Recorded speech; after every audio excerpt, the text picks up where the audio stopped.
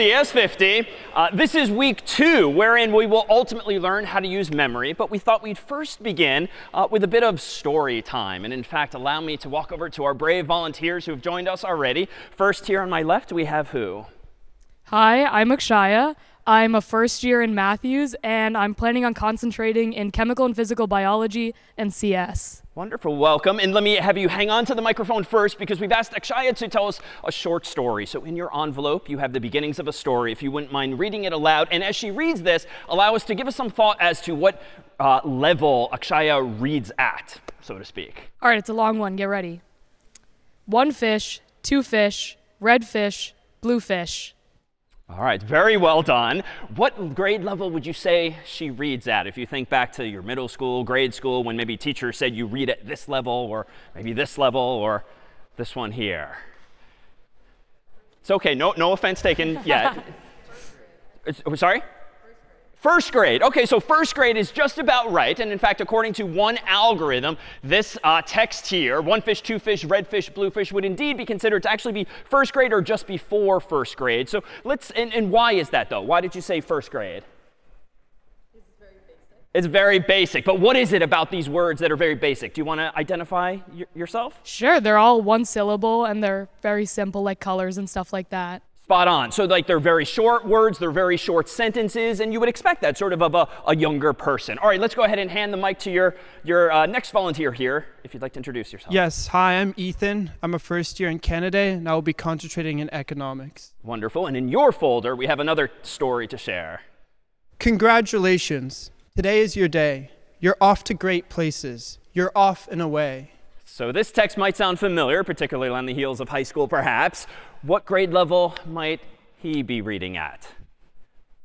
So maybe fifth grade, and why fifth grade? OK. Yeah, so a little more complicated. Like the words, uh, we've got some more punctuation, we have an apostrophe, we have longer sentences. And indeed, according to one algorithm, not quite fifth grade, but we would adjudicate your reading level to be third. But let's see if we can't do one final flourish here, if you'd like to introduce yourself and your story. Uh, hi, I'm Mike. Uh, I'm also a first year. I'm in Weld, and I'm planning on concentrating in biomedical engineering. Welcome. And your tale. It was a bright, cold day in April, and the clocks were striking 13. Winston Smith, his chin nuzzled into his breast in an effort to escape the vile wind, slipped quickly through the glass doors of Victory Mansions, though not quickly enough to prevent a swirl of gritty dust from entering along with him. All right, so escalated quickly, and someone's guess at this reading level? That, oh, oh okay, 1984 is indeed the text in question. And in what grade did you perhaps read that book? So I'm hearing 8th, I'm hearing 10th. So indeed, 10th grade is what a certain algorithm would actually adjudicate that reading level to be at. And consider now the heuristics. So we started with very small words, very small sentences, very easy words. And then things sort of escalated into more interesting, more sophisticated English, uh, more interesting sentence construction and the like. So I bet if we could somehow capture those characteristics of text, the length of the words and the lengths of the sentences and the position of the punctuation, I dare say even using week one material and today week 2 material, we'll be able to actually write code and implement an algorithm like that that can take these spoken words, put them to paper, and actually analyze roughly what that reading level might be. So that's just a teaser of what lies ahead. For now, allow us to uh, thank our volunteers, each of whom gets a wonderful parting gift here to read at home. all right, and thank you all so much.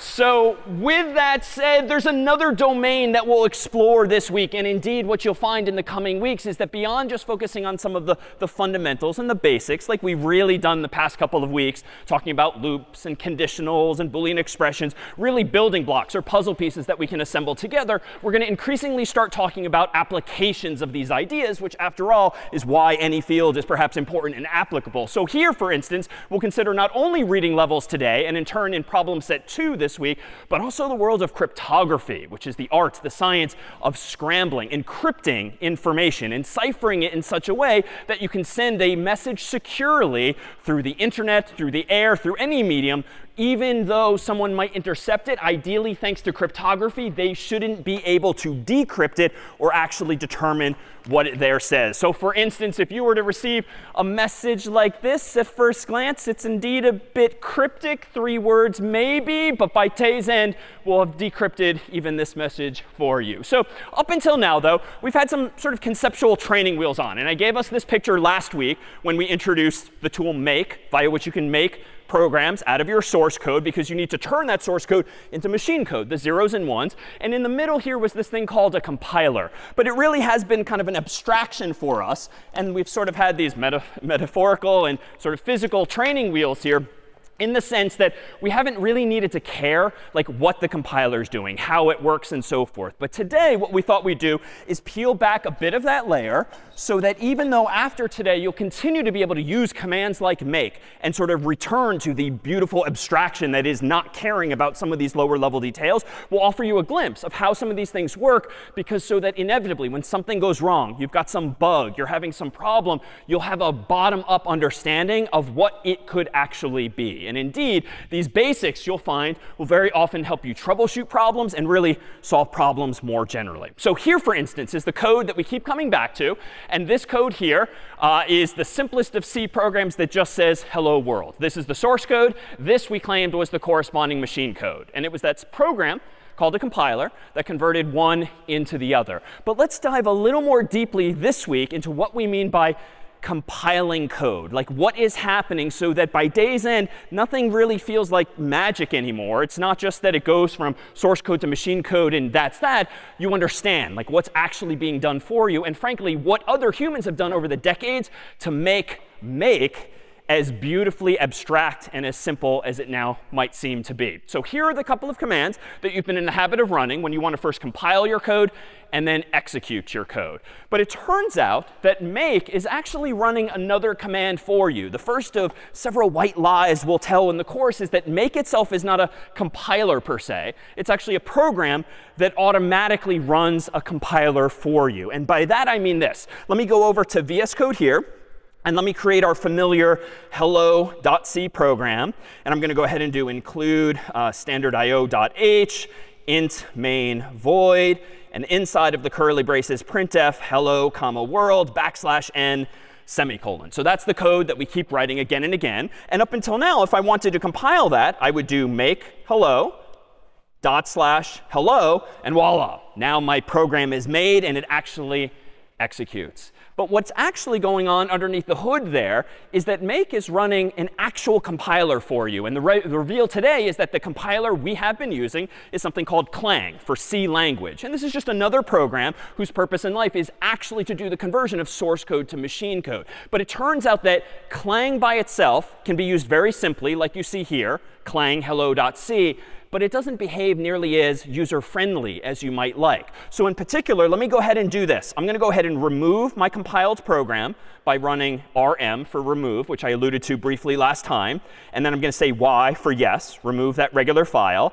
And if I go ahead now and run just clang of hello.c and hit enter, it seems to be successful, at least insofar as there's no error messages. But if I try to do dot slash hello enter, there is no such file or directory called hello.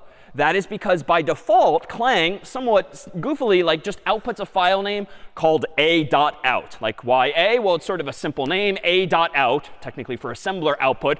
But this just means this is the default file name that Clang's going to give us. So OK, it turns out I can do dot slash a.out enter, and voila, that now is my program. But that's just kind of a stupid name for a program, right? It's not very user friendly. It's certainly not an icon you would want to put on people's desktops or phones. So how can we do better? Well, it turns out with Clang, we can configure it using what we'll call command line arguments. And command line arguments are actually something we've been using thus far. We just didn't slap this word on it. But command line arguments are additional words or sort of shorthand notation that you typed at your command prompt that somehow modify, modify the behavior of a program. And you can perhaps guess where this is going. It turns out that if I actually want to create a program called hello, not a.out, which is the default, I can actually do this, clang space dash lowercase o space hello, or whatever I want to call the thing, space hello.c. And now if I hit enter, nothing seems to happen. But now if I do dot slash hello and enter, now I've actually got that program. So why is make useful? Well, it just saves us the trouble of having to type out this longer line of command anytime we actually want to compile the code. But in fact, it gets even worse than that with commands like Clang or compilers in general, because consider this code here. Not just the version of Hello World, but maybe the second version wherein last week I started to get user input by adding the CS50 library using getString and then saying hello, comma, David. Well, if I go back to VS Code and I modify this program to be that same one, so let me go ahead and include cs50.h at the top. Let me get rid of this simple print line and instead give myself a string uh, called name equals get underscore string. What's your name? Question mark, just like we did in Scratch. Then I can do printf, quote unquote, hello, comma. And previously I typed world. I obviously don't want to type David because I want it to be dynamic. What did I type last week for as a placeholder? So yeah, just not command s, but percent %s. So percent %s in this case, which is a placeholder for any such string. Then I can still do my new line, close quote, comma, and then I can substitute in something like the value of the name variable. All right, so if I go ahead now and compile this, now last week I could just do make hello and I'm on my way. It worked just fine. But if I instead do clang manually, it turns out that this is not going to be sufficient now. Clang uh, dash o hello space hello.c. Exact same thing I typed a moment ago, but I think I'm going to see some errors. So what's this error hinting at here? Well, at the very bottom, it's a bit arcane with its output. And much of this you can ignore, but there are some certain keywords. What's the first maybe keyword you recognize in these three lines of erroneous output? So it mentions main. That's not that much of a clue, because that's the only thing I wrote so far. Second line, though, get string. There's some issue with an undefined reference to get string. Now, why might that be? I did include cs50.h, but that's apparently not enough to teach the compiler about getString. Well, it turns out that if you're using a third-party library, one that doesn't necessarily come with C, the language, something like CS50s, it turns out that you additionally have to tell the compiler that you want to use that library. And not just by including the header file, but by an additional command as well. So when you run Clang, you want to provide an additional, rather, command line argument, literally dash L for library, which is a term I used last week, CS50. A library is just code that someone else wrote that you want to use in your project. So if I really want to compile this version that uses the CS50 library, I can still do clang-o hello hello.c. But before I finish my thought, I need to tell the compiler to link, so to speak, in the library CS50. And now I hit enter. The error message goes away. I can do dot slash hello. I can type in my name. And voila, we're back to week one. And this is why, suffice it to say, we introduced Make, which is not a CS50 thing. This is a popular tool that the real uh, people in the real world use to automate these kinds of processes. So unbeknownst to you, Make has been using the dash O for you. Make, unbeknownst to you, has been using dash L CS50 for you just because it makes our lives easier. But today, we thought we would deliberately sort of peel back this layer so we at least understand what's going on behind this abstraction that is make itself and compiling more generally. So let me propose that compiling itself is not quite what we've described it to be. Compiling is like this catch-all phrase that apparently I claim goes from source code to machine code. But if we really want to get pedantic, which we'll do briefly, but this is not a sign of things to come because this too will we abstract away, compiling is just one of four steps that are involved in turning source code that you and I write into those zeros and ones. But through an understanding of these four steps today, you'll hopefully better understand how to troubleshoot issues like that and just kind of know what's happening because it's not, in fact, magic. It's just the result of years of humans developing these four steps here. So when you run make, what's happening, or in turn, when you run clang, four different things are happening. And the first one is called preprocessing. So what is this all about? Well, let's consider this code here. And this code's a little bit interesting insofar as it's one of the more complicated examples from last week. And you'll notice, for instance, that I had include standard IO at the top. So I could use printf. I had main down here, whose purpose in life was just to meow three times. And then recall we made our own meow function, just like we did in week zero with Scratch, that just printed out, quote unquote, meow. But I also included this line here, which we called what? This was a prototype and why did I have to include it there? Or equivalently, what would happen if I didn't include a prototype up at the top there? Yeah.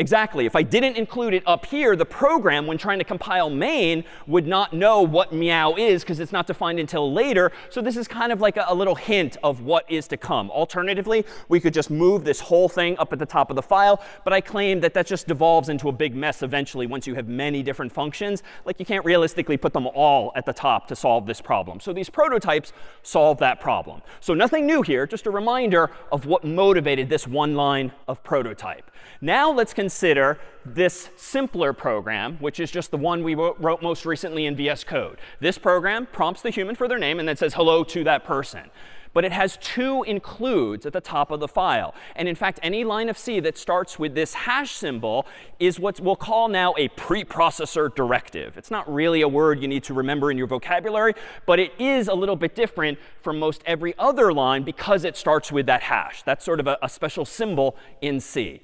And what this means is the following. This very first line, cs50.h, is indeed a file that I and CS50 staff wrote, and we installed somewhere in VS Code for you, somewhere in the cloud. And I've claimed you need to use this header file in order to use getString. So just logically, what is probably inside of cs50.h? Yeah.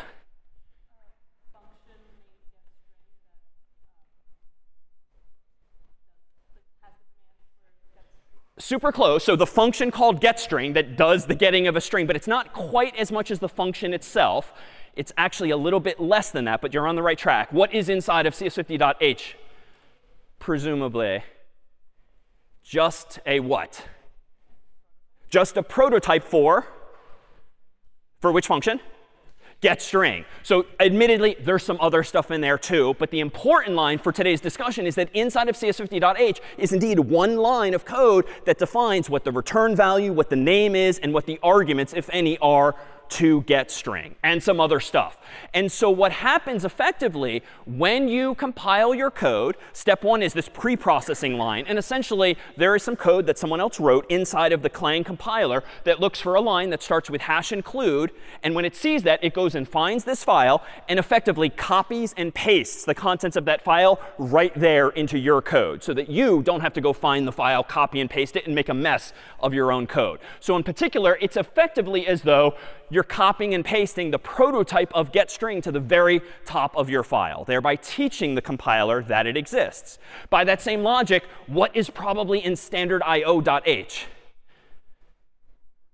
The prototype for for printf. And indeed, exactly that. So this line effectively gets replaced with the equivalent of the prototype for printf, which for today's purposes is a bit more complicated. So let me wave my hand at the dot, dot, dot, just because it takes a variable number of arguments, depending on how many placeholders or format codes you have. But effectively, that too is what's happening. So the preprocessor step, step one of four, just does that find and replace, if you will. Now there's some, again, some other stuff in that file. And this too is kind of a white lie. Printf probably has its own file file because that's a really big library. But the essence of it is exactly this. So preprocessing converts all of those hash include lines to whatever the underlying prototypes are within the file, plus some other stuff.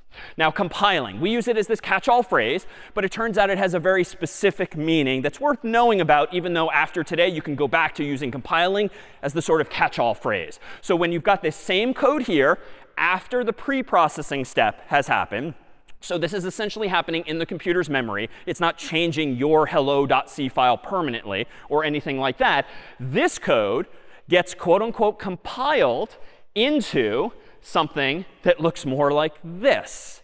And this is a scarier language that we won't spend time on in this particular class. This is what's known as assembly language. And back in the day, before there was C, humans wrote this to program their computers. Similarly, before there was assembly code back in the day, humans very initially used what instead? So zeros and ones, like they actually wrote the machine code painfully, be it in code or be it in punch cards, like physical objects or the like. So again, these are sort of abstractions, but we're rewinding for today in time. But what this compiler for C is doing is converting C into this other language called assembly language. And even though this looks very esoteric, there's at least some juicy things in here. If I highlight getString is mentioned in this code, printf is mentioned in this code, and even some of these keywords here that are spelled a bit weirdly, this relates to subtracting and moving something in memory and calling a function, calling a function. So there's some semantics that are probably somewhat familiar, even though this is not code we ourselves will write. But unfortunately, this is not yet machine code, and that's where step three comes in. So step three of this four-step process is technically called assembling. And assembling just takes that uh, assembly code and converts it, thankfully, to the thing we do care about, the zeros and ones. So assembling takes assembly code, converts it to zeros and ones. As an aside, and I alluded to this earlier, the reason that Clang names its files a.out by default, assembler output, is kind of a side effect of that being one of the steps in this process, dealing with assembly language and its subsequent output. All right, so here are some zeros and ones, but unfortunately, there's still that fourth and final step, which is a word that I also used earlier, namely linking. So let me take a step back and look at this code here. And even though this code is exactly as I wrote in VS Code in hello.c, so no copying and pasting, no prototypes have been plugged in here. This is my code. Technically, there's three different files involved in compiling even something relatively simple like this. There's obviously this thing itself, hello.c, which I wrote. There's apparently cs50.h and there's apparently standardio.h. But technically, and you don't have to know this file name per se, somewhere else on the computer's hard drive, so to speak, is a cs50.c file, which actually contains the staff's implementation of getString and getInt and getFloat and all of those other functions. Somewhere on the server's hard drive is standardio.c that implements printf and all of these other functions as well. So the .c is just inferred from the .h here. You don't ever mention the .c file, but someone else wrote those files, someone else uh, stored them in the server for you, CS50 staff in this case. So technically, even when compiling a relatively short program like this, you're really combining three files, at least at the end of the day. And I'll write them from left to right. Hello.c, which I wrote uh, which uh, cs50.c, which the staff wrote, and then standardio.c as well. So somewhere there's these three files, and Clang, our compiler, needs to compile each of these into the corresponding zeros and ones. Lastly, this is not yet sufficient because these zeros and ones haven't been linked together. I mean, I deliberately left a gap here to imply that these are three separately compiled files. So that fourth and final step called linking takes all of these zeros and ones and in an intelligent way combines them into just one final file named hello, named a.out, whatever the file name is of choice. So what you and I, for the past week, have just been calling compiling, and that's what a typical normal person will use henceforth to describe this whole process. Technically, there's these four different steps underneath the hood, each of which is sort of a uh, representative of an evolution of technology over the years. And nowadays, if we fast forward a few weeks in class, when we start talking about Python, which is another more modern language, that too is going to be conceptually even higher level, even though underneath the hood there's going to be some lower level principles at work. So any questions on just terminology or these processes known as compiling? Yeah?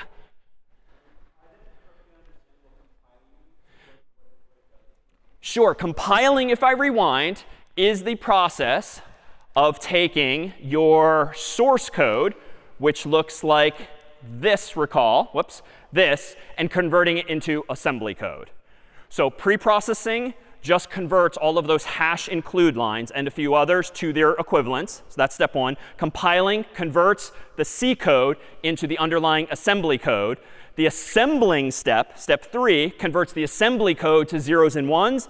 And then the fourth step, linking, combines all of the zeros and ones from the one, the two, the three, or more files that are involved in your project and links them all together for you magically. But at the end of the day, all of this is sort of happening automatically for you. If I jump now to the end here, whereby just by running uh, make, which in turn runs Clang for you, like all of this is abstracted away. But the key here is that even with these commands that we've been running, be it the make command or the Clang command, everything should be explainable uh, what you are typing at the prompt ultimately. Each of those things has a purpose.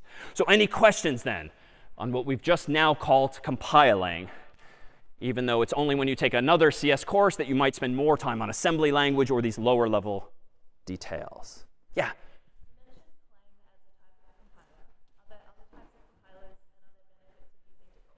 A good question. Are there other types of compilers? Yes, back when I took CS50, I used a popular compiler called uh, GCC, the GNU Compiler Collection, which still exists actually in the code space that you're using for CS50. Clang is somewhat more recent. Uh, it's gaining popularity. And frankly, we use it in large part because its error messages are slightly more user-friendly. You might not believe us, because if you encountered some errors with your code this past week, they were probably just as arcane as the error message I, I saw. But it's better than it was some years ago. And there's alternatives to compiling too, but more on that when we get to Python as well. Other questions? All right, well, what are the implications of the fact that we're going from source code to machine code? Well, it stands to reason that if you can compile code, maybe you can decompile it. That is, go in the reverse direction. Go from zeros and ones to actual source code. Now, that would be handy if you want to go in as a programmer and like change something in a program that you or someone else already wrote. It's maybe not ideal for your intellectual property, though, if you are the person who wrote that program in the first place. If you are Microsoft and you wrote Microsoft Word or Excel that people with Macs and PCs and phones have installed on their devices, you know, it doesn't actually sound very appealing if any old customer can take those zeros and ones and reverse them, reverse engineer them, so to speak, into the original source code, because then they can have their own version of Microsoft Word and make changes to it without really having put in all of the R&D that it might have taken to build the first version thereof. But it turns out that reverse engineering, so sort of doing things in the opposite direction, is easier said than done because there are multiple ways, as you've seen already, to implement programs, like loops alone. You can use for loops, while loops, even do while loops. And so there's other ways, there's multiple ways to solve the same problem. So even if you try to reverse engineer a program and convert machine code back to source code, there's not necessarily going to be an obvious way to do so. And the reality is that it ends up being such a mess because you lose the variable names typically, you lose the function names typically, that what you end up looking at might very well be C code, but it's completely difficult for you, even a good programmer, to read. And generally, the sort of mindset is if you're really good enough to decompile code in that way and read it subsequently, even without good variable names, good function names, good documentation, and the like, you could probably have just implemented the program in the first place yourself without jumping through those hoops. So there's sort of some practicality pushing back on what are otherwise potential threats to, say, your intellectual property. But that's not going to be the case later on in the term when we do get to languages like Python to some extent, other languages like JavaScript. Some of those are actually going to be readable by anyone, any of your customers, any of your friends, any of your family that actually use your programs. So with that said, let's introduce now another tool to our toolkit that will hopefully make some of the pain from this past week when you did encounter bugs a little more manageable. And indeed, part of the process of writing code to this day is debugging it. And it is a rare thing to write a program, be it in C or any other language, and get it 100% right the first time. I mean, to this day, I still, 20 plus years later, still write buggy code, hopefully a little bit less of it. But anytime you're adding a new feature, anytime you're doing something for the first time, you're not necessarily going to see all of the possible mistakes. So even in industry, bugs are omnipresent, which is really to say having techniques to debug code, that is, eliminate bugs, is super compelling. Now, just for a bit of history, here is um, Admiral Grace Hopper, who was actually in um, uh, not only the military, but also uh, on the faculty of Harvard years ago and worked on a Harvard computer called the Harvard Mark I, which is actually on display at the School of Engineering and Applied Sciences if you take a tour over there sometime. But also when working on the Harvard Mark II, uh, she is known for having at least popularized the phrase bug to mean a mistake in a computer's program, uh, in a, in a mistake in a computer's code. And the etymology of this supposedly is this here logbook, wherein she and her colleagues were sort of documenting processes being computed on computers that a moth actually got stuck in one of the relays, one of the mechanical, uh, the electric relays inside of the very old now computer. And someone very uh, cleverly wrote, first actual case of bug being found. So it wasn't she who actually discovered it, but this was a story she was thereafter fond of telling as a famed computer scientist thereafter. We now know bugs to be all too familiar when it comes to writing our own code, and I thought I would deliberately write some buggy code based on some of the programs with which we experimented last week. So let me go back over to VS Code here, and let me propose that I do something somewhat simplistic, just like this, to print out a column of bricks of height 3. So I'm going into VS Code, and I'm going to deliberately call this program buggy.c, because I intend to do this poorly. I'm going to include standardio.h as before, int main void as before. And in here, if I want to print a pyramid of height 3, I'm going to do for int i gets all right, I'm still new to programming in my mind here, so like I know I'm supposed to start counting at 0, OK, and I want to do this until I count up to 3, so I'm going to do that. And then i++, plus I remember from class in this way. And now I might go ahead and print out just a hash mark, backslash n, which I do want because I want to move this cursor to the next line to make this vertical. But of course, if you've noticed with your eye already, when I do make buggy, it compiles OK. So no typos, no syntactical errors. But when I run this, I'm going to see how many bricks. So 4 in this case. Now, this is meant to be a simplistic example so that we don't spend time trying to figure out what the bug is, but rather focus on techniques for actually identifying the bug. So uh, finding, rather, the bug. So what's one of the first tools in your toolkit? Literally one you have already. printf is your friend. And it is a very quick and dirty tool for just seeing what's going on inside of the computer when you don't have more sophisticated tools or even the time to use them. And so in this case, for instance, what I'd propose is that, all right, I'm obviously seeing four hashes. And let me play a little slow here. It'd be helpful for me to understand why, logically, I'm ending up with 4, even though I'm starting at 0 like I remember from class, and I'm going up to 3 as we did in class. Like I'm just not seeing it in this, in this particular story. So what I would commonly do is go into my code and just help me see what's going on. And I might literally write a printf line like i is percent %i backslash n, comma, and then just print out the value of i. I just want to see on every iteration what is i, what is i, what is i, just to help me see what the computer already knows. So let me go ahead and recompile buggy. Let me rerun buggy. And then let me make my terminal window bigger just to make clear what's going on. And now it's a little more pedantic now, i is 0, I get a hash. i is 1, I get a hash. i is 2, I get a hash. Wait a minute, i is 3, I get a hash. So clearly now, it should be maybe more obvious to you, especially if the syntax itself is unfamiliar. I certainly don't want this last one printing, or maybe equivalently, I don't want the first one printing. So I can fix this in a couple of ways, but the solution, the most canonical solution, is probably to do what with my code? To change what to what? Yeah. Yeah, so change the less than or equal sign to just a less than sign. So even though this is like counting from 0 to 3 instead of 1 through 3, it's the more typical programmatic way to write code like this. And now, of course, if I do uh, make buggy, and I'll increase my terminal window again, dot slash buggy. Now I see what's going on inside of the code. Now it matches my expectations. And so now the bug is gone. Now, of course, if I'm submitting this or shipping it, I should delete the temporary printf. And let me disclaim that using printf in this way, just to help you see what's going on, is generally a good thing. But generally adding a printf and a printf and a printf and a printf, like it starts to devolve into just trial and error and like you have no idea what's going on, so you're just printing out everything, let me propose that if you ever find yourself slipping down that hill into just trying this, trying this, trying this, you need a better tool, not just doing printf. And frankly, it's annoying to use printf because every time you add a printf, you have to recompile the code, rerun the code. It's just adding to the number of steps. So let me propose instead that we do this. I'm going to go back into VS Code here, and I'm going to write a different program that actually has a, a, helper function, so to speak, a second function whose purpose in life is maybe just to print that column for me. So I'm going to say this, void print column, though I could call it anything I want. And this function is going to take a argument or a parameter called height, which will tell it how many bricks to print, how many vertical bricks. I'm going to do the same kind of logic for uh, int i equals 0.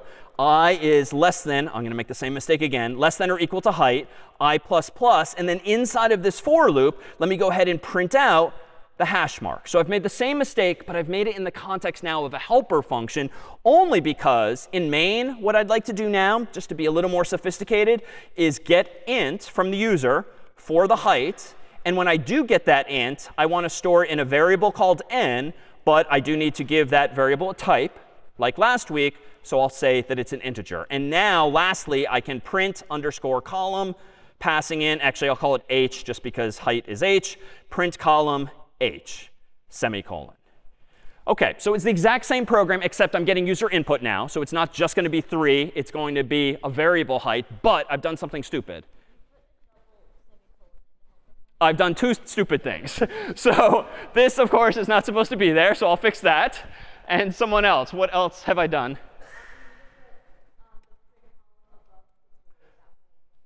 Yeah, I'm missing the prototype. And this is, let me reiterate, probably the only time where copy paste is OK. Once you've implemented the function, you can copy paste its first line, add a semicolon, so that it teaches the compiler that this function will exist. Three stupid things. OK, thank you. So good.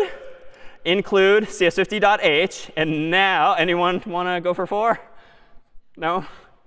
All right, slightly unintended here. So let's see. Make buggy OK, no syntax errors, thanks to you all. So the code compiles. But of course, when I run buggy and I type in something like 3 manually, I'm still going to get 1, 2, 3, 4 out. So let me now introduce a more powerful tool that's generally known as a debugger. And within the VS Code environment that you're using, we actually have a command that makes it a little easier to use this tool. But we didn't write the tool itself. You are about to see a very graphical, a very popular industry standard tool called a debugger. But we'll start the debugger using a CS50 specific command called debug50, which just makes it easier with a single command to start the debugger without having to configure a text file with all of your preferred settings and all of that. It's just an annoying hoop otherwise to jump through.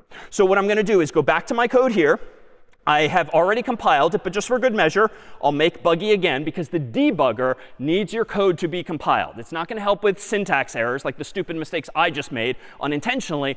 It will help you, though, with programmatic errors, logical errors in your code once your code is running. So to run debug 50, I'm going to do this, debug 50 space, and then the exact same command I would normally run to just run the program itself. So dot slash buggy. So exact same thing, dot slash buggy, but I prefix it now with debug 50. When I hit enter, a whole bunch of okay, another error is going to pop up on the screen, which is a good reminder because this will happen to you too invariably.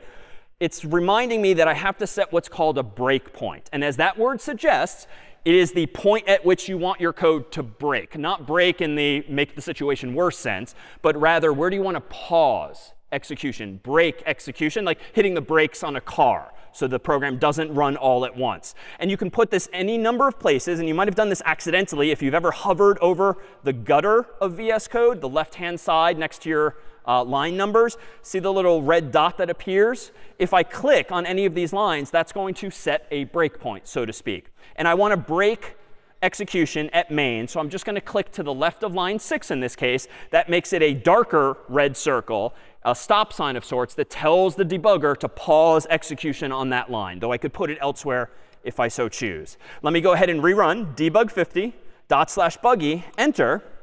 And now a bunch of things are going to happen on the screen. It's going to look a little overwhelming perhaps at first glance, but there's some useful stuff that just happened. So one, my code is still here, but the line that I set the breakpoint on uh, is, uh, rather, the first line of actual executable code at or below the breakpoint I set is highlighted in this yellowish green here, which says this line of code has not yet been executed. We broke at this point. But if I click a button, this line of code will be executed, right? Because up until now, every C program you write runs as fast as that. I want to pump the brakes and pause here. But notice a few other aspects of the window here. So notice that up here, some weirdness. There's mentions of variables, and we're familiar with these. Local is a term we'll use this week, but there's this variable h, which weirdly, where did the value 21,912 come from? So it turns out in C, before you initialize a variable with a value by literally typing the number 3 or by using a function like getInt, it often contains what's called a garbage value. More on those in a couple of weeks. But a garbage value is, you can think of it as like remnants of whatever was in the computer's memory before you ran your program. And that's a bit of an oversimplification, but you cannot trust that a variable will have a certain value in this case if you did not put one uh, there yourself. So for now, h is sort of nonsensical. It's a garbage value. It means nothing. But once I execute this line, it should contain whatever the human types in. All right, down here, there's a watch section, which is a more sophisticated feature. Down here is what's called the call stack. More on that in the future. But what this means for now is that I'm executing the main function, not, for instance, print column. So notice up here, these are the most useful controls within the interface. If I hit this play button, it's just going to actually run my program to the end of it without bothering me further. However, I can actually step over this line of code and execute it or I can step into this line of code and actually poke around the contents of getInt if it's available on the system. So conceptually, you can either execute this line, or you can dive down conceptually deeper and see what's inside of that function.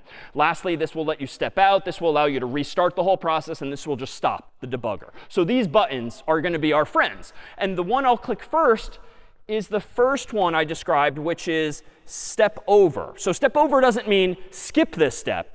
It just means execute it, but don't bother me by going into the weeds of what is on this specific line, namely get int. So when I click this button in a moment, you'll see that my terminal, which is still at the bottom, prompts me for a height. I'm going to go ahead and type 3. As soon as I hit enter, what part of the screen probably will change based on what I've said? So h, the variable h, should hopefully take on the number 3. And I'll probably see a different line of code highlighted, probably line 9 next, once I'm done executing line 8. So let me go ahead and hit enter and watch the top left of the screen. And voila, h now has the value 3. And execution has now paused on line 9 because the debugger is allowing me to step through my code line by line. Now let me go ahead and print out, let me go ahead and just say, all right, I'm done with this. Let's go ahead and run the rest of the program. It clearly got the value 3. But wait a minute. Oh, and at this point, it closed the window in which I would have seen the output. I would have still seen four hashes. So let me actually do this again. Let me go back into debug 50 by running the exact same command again. It's going to think for a moment. It's going to reconfigure the screen. I'm going to do the exact same thing. I'm going to step over this line but I'd like to actually see what's going on inside of my print column function. So this time, instead of just saying run to the end and close all the windows on me, let me go ahead and step into my print column function. Don't, so don't step over, step into. Because if I step over, and now this is what I meant to show earlier, you can see that it's still printing out 4. So in fact, let me undo this. Let me just stop the whole thing. Let me rerun the command a final time. So it goes back to where we began before. It's going to prompt me again once I step over line 8 for a number like 3. But this time, instead of stepping over line 9, let's poke around. I wrote print column, so let's look at print column step by step. Step into it and watch what happens to the yellow highlight. It now jumps logically to the inside of print column, thereby letting me walk through this code. And now I can just step over each of these lines one at a time. So stepping over, OK, so what did it do? It did that whole narrative that I did verbally last week where it compared i against height. It then went inside of the loop. When I step over, watch what happens in my terminal. One hash prints out. Now line 14 is highlighted again. It's comparing, per the Boolean expression, i, is it less than or equal to height? If so, it's going to go ahead and print out the hash. It's going to do this again, print out the hash. But notice at the top left of the screen, height is still the same. It's still 3. But what has been changing, apparently? I on each iteration. So the debugger is letting me see what's going on slowly inside of this loop because i keeps getting incremented. So if I step over this line now, notice that I've now printed 3. So ideally, I want this loop to end. But if I click step over once more, notice that the value of i at top left is 3. But 3 is less than or equal to height. Oh, now I get it, if I play along here. Now I see why less than or equals to mathematically is clearly incorrect. And as soon as that light bulb goes off, you can just sort of bail out, click the red stop button to turn the debugger off, go back in, fix your code, and voila, recompile, run it, and you're back in business. So the takeaways here really are just what tools now exist. Printf is your friend, but only for quick and dirty sort of debugging techniques. Get into the habit now of using debug 50 and in turn VS Code's debugger. You will invariably not take this advice uh, say for problem set two as you first begin, because you know it's going to feel easier and quicker just to use printf, just to use printf, just to use printf. And the problem with that logic is that you begin to build up like technical debt, so to speak, where you really should have learned it earlier. You really should have learned it earlier. You really should have learned it earlier, at which point you end up spending more time wasted using printf and doing things manually than if you had just spent 10 minutes, 30 minutes just learning the user interface and the buttons of a proper debugger. So please take that advice because it will save you significant amounts of time over time. Questions on printf or debugging in this way? Any questions on this? No? OK, so let me give you a third and final technique for debugging, which has kind of been looming over us here for some time. So there is actually this technique known as rubber duck debugging. And in the absence of a roommate who's taking CS50 or who has taken CS50 or knows how to program, in the absence of having a TF or TA or CA sitting next to you, in the absence of having a family member available to ask questions of, if you have simply an inanimate object on your desk, goes the tradition, just talk to that inanimate object. Better yet, if it's an adorable rubber duck in this way. And the idea of rubber duck debugging is that simply by verbalizing, literally out loud, to this inanimate object, probably with the door closed and no one knowing that you're talking to this rubber duck, you invariably end up hearing any illogic in your own thoughts, at which point the proverbial light bulb tends to go off and you're like, oh, I'm an idiot. It's supposed to be less than, not less than or equal to. So literally just explaining to a duck or any inanimate object what's going on in your code will quite frequently just help you see in your mind's eye what it is you've been doing wrong. So rubber duck debugging is indeed a very effective technique, even if you don't happen to have a small or large rubber duck. Of course, you're also welcome to use the CS50 duck, who lives at cs50.ai, and also within a pane in VS Code at cs50.dev. You can ask the CS50 duck about concepts you don't understand, or you can even copy paste certain lines of code with which you might ha be having trouble and ask the duck for its own advice.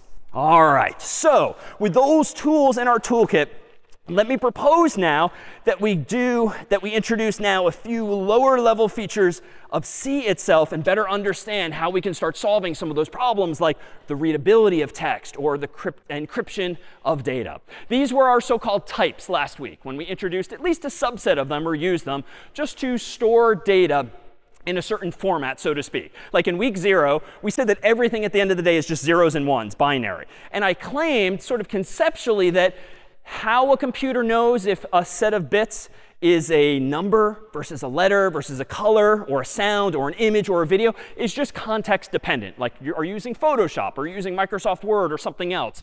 But last week, we saw a little more precisely that it's not quite as broad strokes as that. It's more about what the programmer has told the software uh, is being stored in a given variable. Is it an integer? Is it a char, a character? Is it a whole string? Is it a longer integer or the like? So you now have this control. The catch, though, recall, though, is that each of these types has only a finite amount of space allocated to it. So for instance, an integer is typically 4 bytes. And 4 bytes is 32 bits, because it's 8 times 4. 32 bits, we claimed, is roughly 4 billion. But if you want to represent negative and positive numbers, the biggest integer you can store is like 2 billion. Now that's really big for a lot of applications, but you know, years ago, Facebook, for instance, was rumored to be using integers when they had uh, you know, fewer users. But now that they have billions of users, 3 plus billion users, an integer is no longer big enough for the, the, the Facebooks, the Googles, the, the Microsofts, and so forth of the world. So we also have longs, which use twice as many bytes, but exponentially uh, bigger range of values. Meanwhile, a bool, interestingly, is a byte, which is kind of bad design in what sense? Why might that be bad design?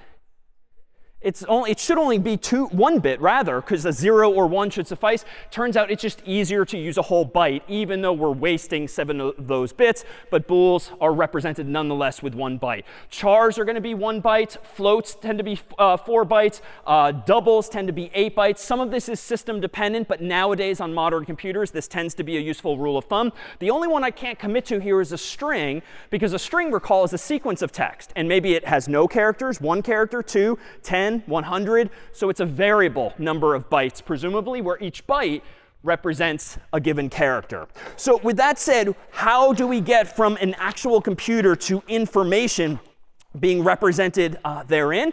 Well, let me remind us that this is what's inside of our Macs, PCs, phones, even though this isn't a scale and it might not be the same shape. This is memory, random access memory. And on these black chips on the circuit board here are the bytes that we keep talking about. In fact, let's go ahead and zoom in on one of these chips, kind of fill the screen here. And just for an artist's depiction's sake, let me propose that if you've got, I don't know, a megabyte, a gigabyte, like a lot of bytes packed into this chip nowadays, it stands to reason that no matter how many of them you have, we could just number them from top to bottom. And we could say that this is byte 1, or you know what, this is byte 0, 1, 2, 3, and this is maybe byte 1 billion, or whatever it is. So you can think of memory as having addresses, or just locations, numeric indices that identify each of those bytes individually. Why a byte? individual bits are not that useful. So 8, again, one byte tends to be the de facto standard. Let me abstract. Uh, so for instance, if you're storing just a single character, a char, it might be stored literally in this top left corner, so to speak, of the uh, the chip of memory. If you're storing maybe an integer, 4 bytes, it might take up that many bytes. If you're storing a long, it might take up that many bytes instead. Now, we don't have to dwell on the particulars of the circuit board and these traces and all of the connections. So let me just kind of abstract this away and claim that what your computer's memory really is, is just kind of this canvas. I mean, kind of in the Photoshop sense. If you've ever made pictures, it's just a grid of pixels, up, down, left, right. That's really all your memory is. It's this canvas that you can manipulate the bits on to store numbers anywhere you want in the computer's memory. So in fact, let's zoom in here and let's consider how your computer is actually storing uh, information using just these bytes. At the end of the day, no matter how sophisticated your Mac, your PC, your phone is, like this is all it has access to for storing information. It's a canvas of bytes. And what you do with this now really invites design decisions. So let's consider this. Here is an excerpt from a program wherein maybe I'm prompting the user for three scores, like three test scores, exam scores, something like that. And the purpose in life of this program is maybe to average those three scores together if you want to get a sense of where you stand in some class. So we can certainly whip up some code like this. And in just a moment, let me go ahead and flip over to VS Code here. And I'll write up a new program called scores.c. And in this, let me go ahead and first include uh, standard io.h, int main void at the top. And in here, let me go ahead and assume that eh, it's not been the greatest semester. So my first score, which I'll call score 1, was a 72. My second score was a 73. But my third score, score 3, was like a 33. Now, you might remember these numbers. In another context, they might spell a message. But in this case, it's just integers. It's just numbers because I'm telling the computer to treat these as ints. Now, if I want to figure out what my average is, I can do a bit of math. So let me just print out that my average is and I don't want to shortchange myself. I'm not going to use percent %i because I don't want to lose even anything after the decimal point. So well, you're going to use a float instead. And the, my average, I claim, will be score 1 plus score 2 plus score 3 divided by 3 semicolon with parentheses, because just like grade school math, like order of operations, I parenthesize the numerator so I can divide the whole thing by 3. But I have screwed up already. I am going to shortchange myself and not give myself as high a grade as I deserve. But this one's subtle. What have I done wrong? Yeah, I might want to cast these scores to floats, right? Because if you do integral math, divide an integer or the sum of an integers, uh, uh, some integers by an integer, it's going to be an integer as the result. So it's going to throw away anything after the decimal point, even if it's something 0.1, something 0.5, something 0.9, that fraction is going to be thrown away. There's a bunch of ways to fix this. I could just use floats or doubles for all of these. I could cast score 1, score 2, or score 3 as you proposed. Frankly, frankly, the simplest way is just change the denominator, because so long as I've got one float involved in the math, this will sort of promote the whole arithmetic expression to being floating point math instead of integer math. So let me go ahead now and do make scores, enter. So far, so good. Dot slash scores, and my average seems to be not great, but 59.3333. So in the third. But I would have lost that third if I hadn't used a float in this particular way. Well, let's consider now what's actually going on inside of the computer when I store these three variables. So back to the grid here, just my canvas of memory. Doesn't really matter where things end up. I might put it here. I might put it there. The computer makes these decisions. But uh, for the artist's sake, I'm going to put it at the top left-hand corner here. So score 1 is containing the integer 72. Why is it taking up four squares, though? Because it's an integer. And on this system, an integer is 4 bytes. So I've drawn it to scale uh, if you will. Score 2 is the number 73. It also takes 4 bytes. By coincidence, but also by convention, it will likely end up next to the first integer in memory, because I've only got three variables going on anyway. So the computer quite likely will store them back to back to back. And indeed, by that logic, score 3, containing the number 33, is going to fill in this space here. We'll consider down the road what happens if things get fragmented. Something's here, something's here, something's here. But for now, we can assume that this is probably contiguous, though not necessarily so. All right, so that's pretty straightforward. But what's really going on? Well, these are just bytes of memory. That is bits of memory times 8. And so what's really going on is this pattern of zeros and ones is being stored to represent 72. This pattern of zeros and ones is being stored to represent 73. And similarly, 33. But that's a very low level detail that we don't really care about. So we'll generally just think about these as numbers like 72, 73, 33. All right, so if we go back to the actual code, though, here, I wonder if this is the best idea. These three lines of code are correct. I got my 59 and a third for my average, which I claim is correct. But code-wise, this should maybe rub you the wrong way. Even if you hadn't programmed before CS50, why might this not be the best approach to storing things like scores in a program? How might this get us in trouble? Yeah.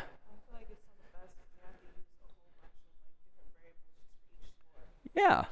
It's not the best because you have to use a whole bunch of different variables for each score. They're almost identically named, though. But just imagine in almost any question involving the design of your code, what happens as n, the number of things involved, gets larger? Am I really going to start writing code that has score 4, score 5, score 6, score 10, score 20? I mean, your code's just going to look like this mess of mostly copy-paste, except that the number at the end of the variable is changing. Like, that should make you cringe a little bit because it's not going to end well eventually. And typographical errors are going to get in the way, most likely, because we'll make mistakes. So how can we do a little bit better than that? Well, let me propose that we introduce what we're going to now call an array. An array is a sequence of values back to back to back in memory. So an array is just a chunk of memory storing values back to back to back. So no gaps, no fragmentation from left to right, top to bottom, just as I already drew. But these arrays, in C at least, are going to give a slightly new syntax that addresses exactly your concern. So here instead is I would propose how you define a one variable, not three, one variable called scores, plural, each of whose values is going to be an int, and you want three integers tucked away in that variable. So now I can sort of pluralize the name of my variable because by using square brackets in the number 3, I'm telling the compiler, give me enough room for not one, not two, but three integers in total. And the computer is going to do me a favor by storing them back to back to back in the computer's memory. Now, assigning values to these variables is almost the same, but the syntax looks like this. To assign the first value, I do scores bracket 0 equals whatever, 72 scores bracket 1 equals 73, scores bracket 2 equals 33. And it's square brackets consistently. And notice this is a feature or a downside of C. We very frequently use the same syntax for slightly different ideas. This first line tells the computer, give me an array of size 3. These next three lines mean go into this array at location 0, and put this value there. Location 1, put this value there. Location 2, put this value there. So same syntax, but different meaning depending on the context here. But the equal sign indeed means that this is assignment from right to left, just like last week. So what does this mean in the computer's memory?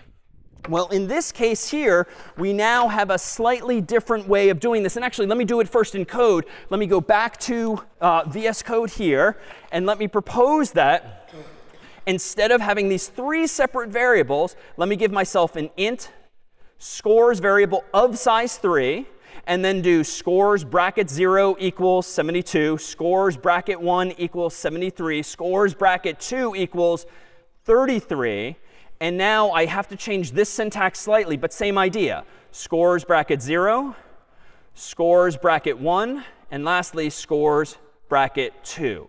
So a couple of key details. I started counting at 0. Why? That's just the way it is with arrays. You must start counting at 0 unless you want to waste one of those spaces. And what you definitely don't want to do is go into scores bracket 3 because I only ask the computer for three integers. If I blindly do something like this, you're going too far. You're going beyond the end of the chunk of memory, and bad things will often happen. So we won't do that just yet. But for now, 0, 1, and 2 are the first, second, and third locations. So if I recompile this code, so make scores, seems OK, dot slash scores, and I get the exact same answer there. But let me make it more dynamic, because this is a little stupid that I'm compiling a program with my scores hard-coded. What if I have a fourth exam tomorrow or something like that? So let's make it more dynamic, and I think the syntax will start to make a little more sense. Let's go ahead and use getInt and ask the user for a score. Let's go ahead and get int and ask the user for another score. Let's go ahead and get int and ask the user for a third score, now storing the return values in each of those variables. If I now do make scores, oh, darn it, mistake. Similar to one I've made before, but we didn't see the error message last time. What did I do wrong? Yeah. OK. What did I do wrong? How about over here? Yeah, so I'm missing the CS50 header file. So how do you know that? Well, implicit declaration of function getInt. So it just doesn't know what getInt is. Well, who does know what getInt is? The CS50 library. That should be your first instinct. All right, let me go to the top here, and let me go ahead and squeeze in the CS50 library like this. Now let me clear my terminal, make scores again. We're back in business. And notice, I don't need to do dash L CS50 anymore. Make is doing that for me for Clang, but we don't even see Clang being executed. But it is being executed underneath the hood, so to speak. All right, so dot slash scores, here we go. 72, 73, 33. Math is still the same, but now the program is more interactive. Now, this too hopefully should rub you the wrong way. This is correct, I would claim, but bad design still. Sort of reeks of week zero uh, inefficiencies. Yeah?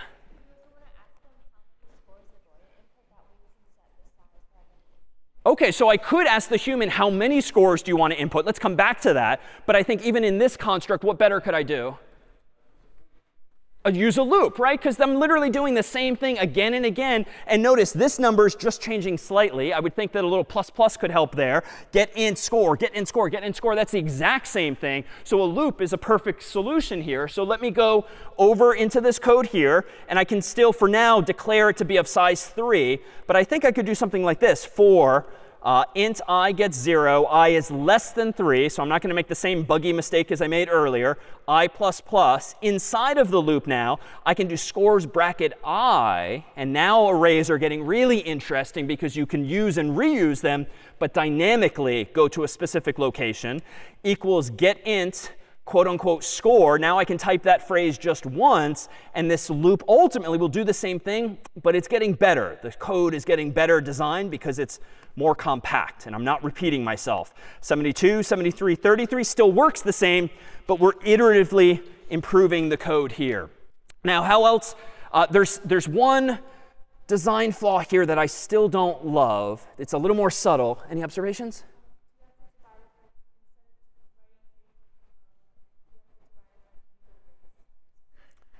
Ah, interesting. So instead of dividing by 3.0, maybe I should divide it by the array size, which at the moment is technically still 3. But I do concur that that is worrisome because they could get out of sync. But there's something else that still isn't quite right. Yeah?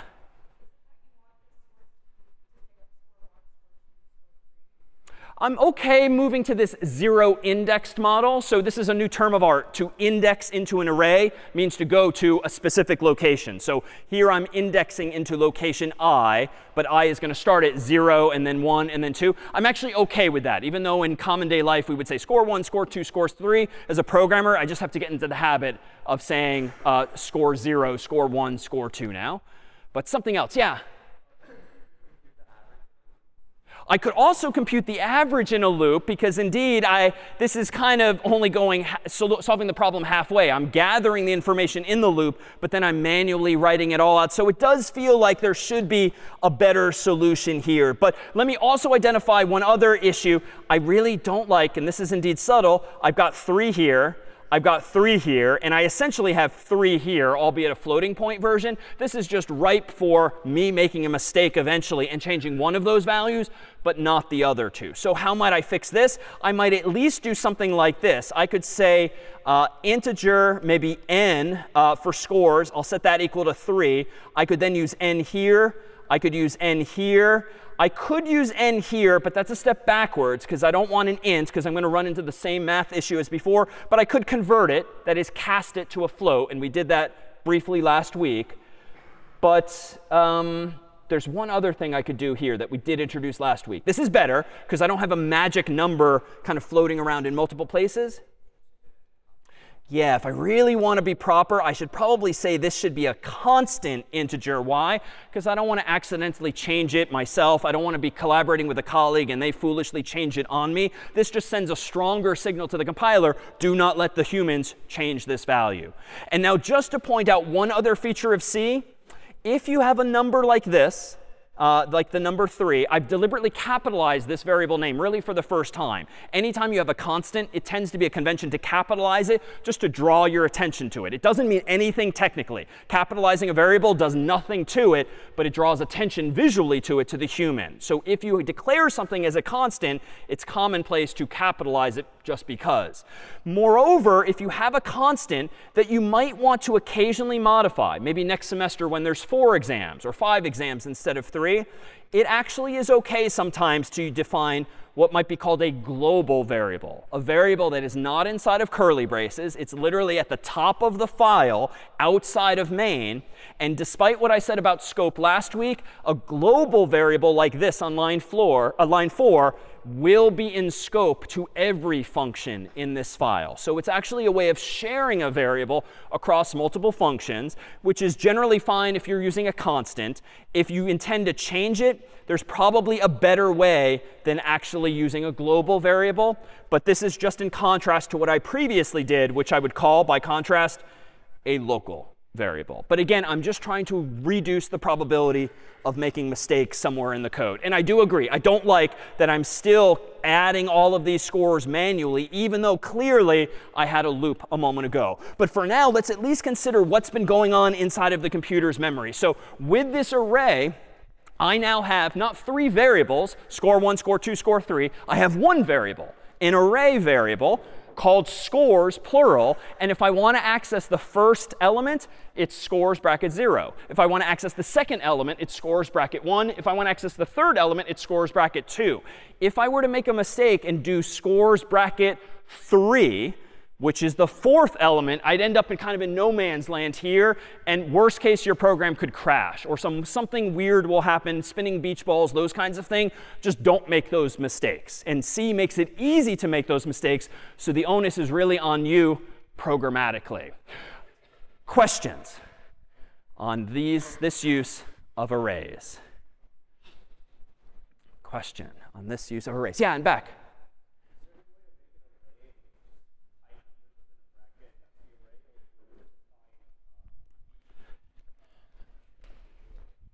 A really good question. Is there any way to create an array just by using syntax alone without prompting the human for it? Short answer, yes. If you want to have an array of integers uh, called, for instance, array, you could actually do like uh, 13, 42, 50, something like this, this would give you an array. If you use this syntax, this would give you an array of size 3, where the three values by default are 13, 42, and 50. It's not syntax we'll use for now, but there is syntax like that. It's not quite as user-friendly, though, as other languages if you've indeed programmed before. Other questions on this use of arrays? Yeah, in front. Is there a way to copy what? Oh, to, is there a way to calculate the length of an array? Short answer, no. And I'm about to show you one demonstration of this. Those of you who have programmed before in Java, uh, in JavaScript, and certain other languages, it's very easy to get the length of an array. You essentially just ask the array, what's its length? C does not give you that capability. The onus is entirely on you and me to remember, as with another variable like n, how long the array is. And so in fact, let me go ahead and do this. I'm going to go ahead and open up uh, sort of uh, baking style, a program that I wrote in advance here, which kind of escalates quickly, but there's not really too many new ideas here except for the array specifics. So this is scores.c, uh, pre-made this time. And notice what I have. One, I've included cs50.h and standardio.h at the top. So that's the same. I have declared a constant called n, set it equal to 3. That is now the same as of my most recent change.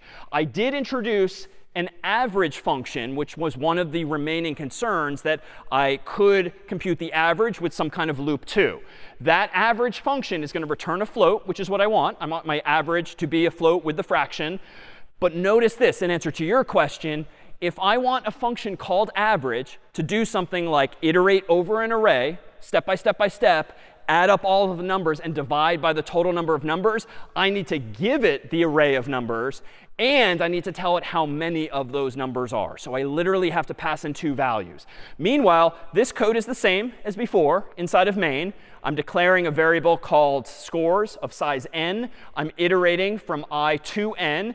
Uh, and actually, yep. And then in this loop, I'm assigning each of the scores a return value of get int. The last line of main is this. Print out the average with percent %f, but don't just do it manually by adding and dividing with parentheses. Call the average function, pass in the length of the array and the array itself, and hope that it returns a float that then gets plugged into percent %f.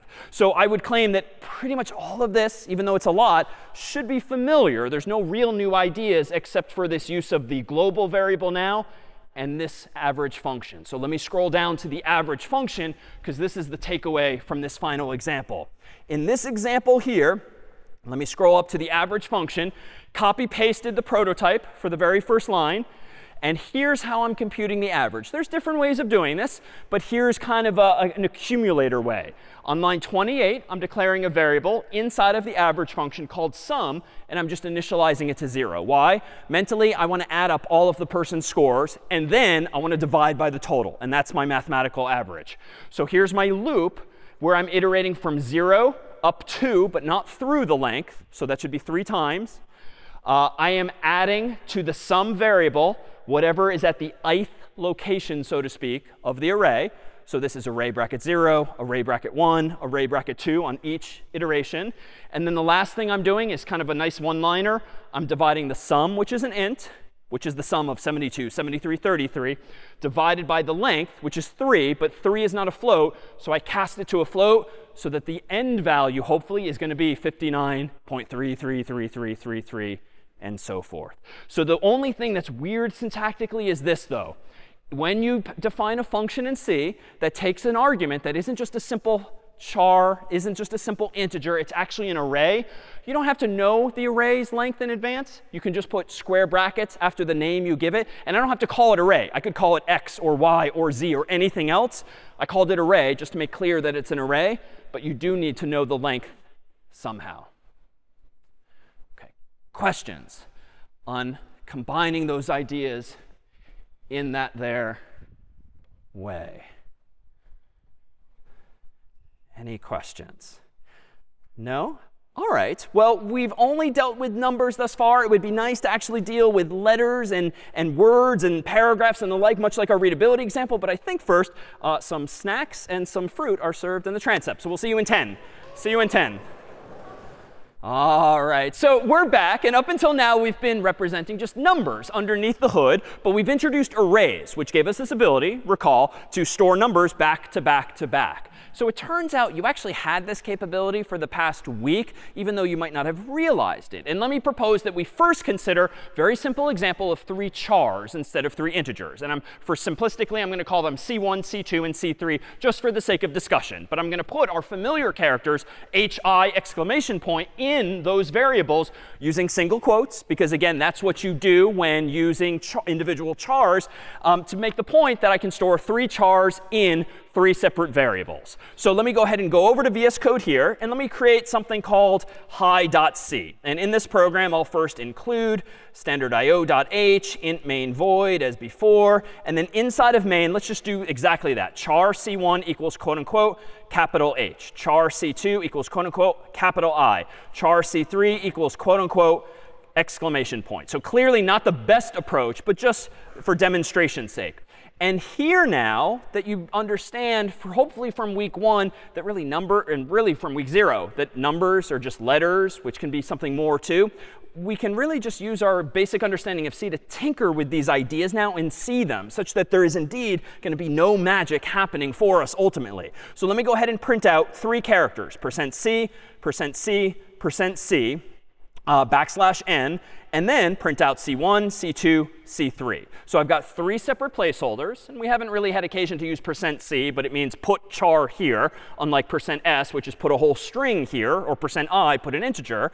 Let me go ahead and make hi, no syntax errors, dot slash hi, and it should print out hi in exclamation points because I'm printing out just three simple characters. But per our discussion as far back as week zero, letters are just numbers and numbers are just letters. It just depends on the context in which we use them. So let me change this percent %c to an i. And I'm going to add a space just so that you can obviously separate one number from another. Change this to i, change this to i but still print out C1, C2, C3. So no integers per se. Let me just print out those chars. Let me do make hi, no errors, dot slash hi, and now I see 72, 73, 33. So in the case of chars and ints, you can actually treat one as the other, so long as you have enough bits to fit one in the other. You don't have to cast even or do anything explicitly. You do have to cast when sort of uh, converting an integer to a float to make clear to the compiler that you really intend to do this, because that could be destructive if it can't quite represent the number as you intend. But in this case here, I think we're OK just poking around and seeing what's going on underneath the hood. Well, what is going on underneath the hood memory-wise? Well, something very similar. Here's that canvas of memory. And maybe we got lucky and it's in the top left-hand corner like this, C1, C2, C3. But these are just three individual characters. But we're getting awfully close to what we last week called a string, right? Which are just characters, a sequence of characters from left to right.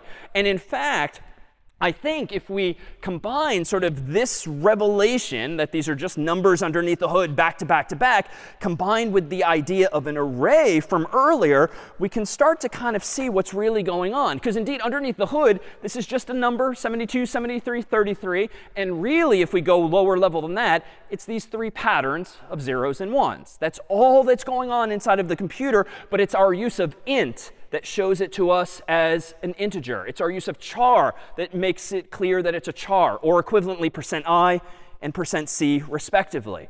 But what exactly is a string? Well, it's really just a sequence of characters. And so why don't we go there? Let me propose that we actually give ourselves an actual string, call it s. We'll use double quotes this time. So if I go back to VS Code here, let me shorten this program and just give myself a single string s, set it equal to hi exclamation point in double quotes. And then below that, let's go ahead and print out percent %s backslash n and then s itself. And then turns out, for reasons we'll soon see, I do need to include the CS50 library so as to use the actual keyword string here, even though I'm not using getString, but more on that another time. But if I now do make hi, it does compile dot slash hi, and it still prints out the exact same thing. But what's going on inside of the computer's memory when I use a string called s instead of three chars? Well, you can kind of think of the string as taking up at least three bytes, h, i, exclamation point. But it's not three separate variables. It's one variable. But what does this really look like now, especially if I add back the yellow lines? S is really just an array of characters. So we called it a string last week, and I claim today that this is kind of a uh, an abstraction in the CS50 library that's giving us this phrase string, but it's really just an array of size at least 3 here, where s bracket 0 presumably gives me the h, s bracket 1 is the i, s bracket 2 is the exclamation point. But just by saying string, all of that happens automatically. I don't even need to tell the computer how many chars are going to be in the string all at once. So in fact, let me go over to maybe a variant of this program, and we can see this syntactically. So instead of printing out the whole string with percent %s, let me actually be a little curious and print out percent %c, percent %c, percent %c, and then change s to s bracket 0, s bracket 1, s bracket 2, which is not better in any sense. This is way more tedious now, but it does demonstrate that I can treat s here in week 2 as though it's an array, which means even in week 1 it was an array, we just didn't know it. We didn't have the syntax with which to express that. So if I now do make hi, still compiles dot slash hi, same exact output, but I'm now just kind of manipulating the string in these different ways because I know a string is just an array of characters, so I can treat s with the square bracket notation. But how do I know, how does the computer know where high ends? And this is where strings get a little dangerous. Like a char is one byte no matter what. One char, one character. That's it. But a string, recall my question mark from earlier, could be no bytes if it's, uh, uh you would think could be zero bytes if you have nothing in it inside the quotes. It could be one character, two, 10, 100, like I claimed. But how does the computer know where strings end? Like, how does the computer not know that the string is not the whole row of memory here? How does it know that it ends here? Well, it turns out all this time, when we've been using quote unquote string and using get string from the CS50 library, there's actually a special sentinel value at the end of every string in a computer's memory that tells the computer string stops here. And the sentinel value, and by sentinel I just mean special value that the world decided on decades ago, is all 0 bits. If you have a byte with all 0 bits in it, that means string ends here. So the implication is that the computer now, using a loop or something, can print out char, char, char, oh, done, because it sees this special value. If it didn't have that, it might blindly go char, char, char, char, char, printing out values of memory that don't belong to that given string. So I was correcting myself verbally a moment ago because I said that this string is of length 3. It's 3 bytes.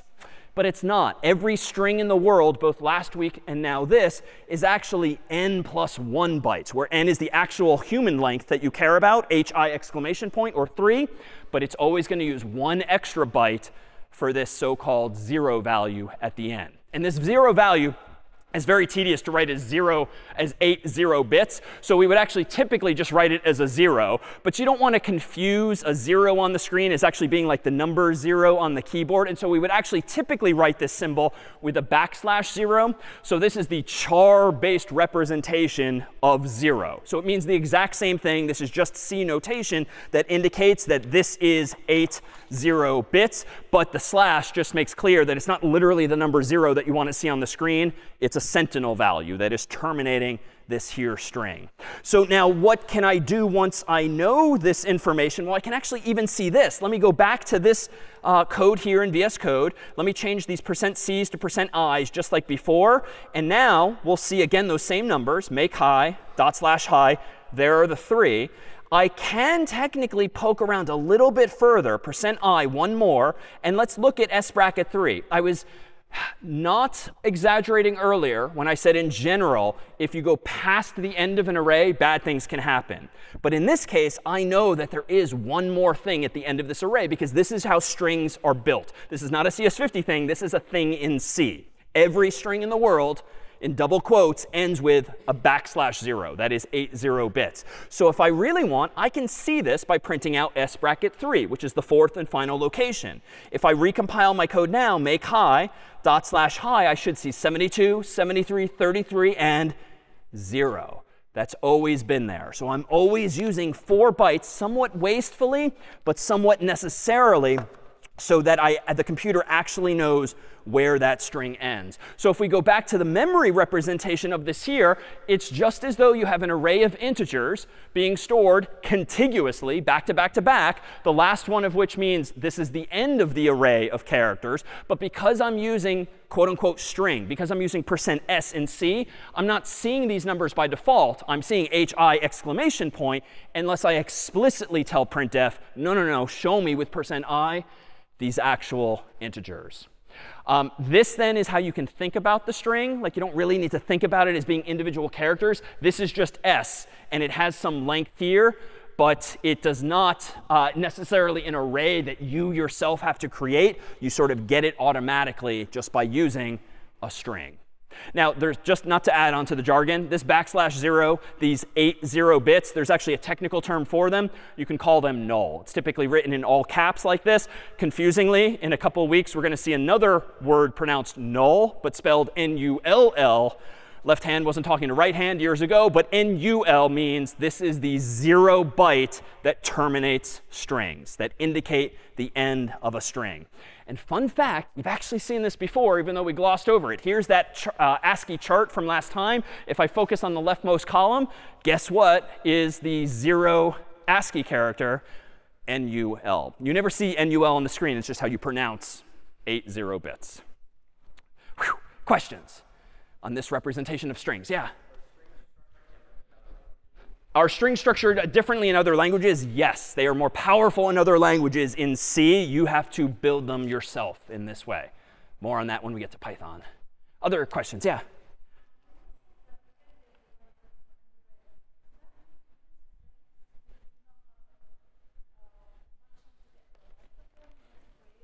Uh, really good question. Does that mean we don't have a, a, function to get the length of a string? Do we have to create it?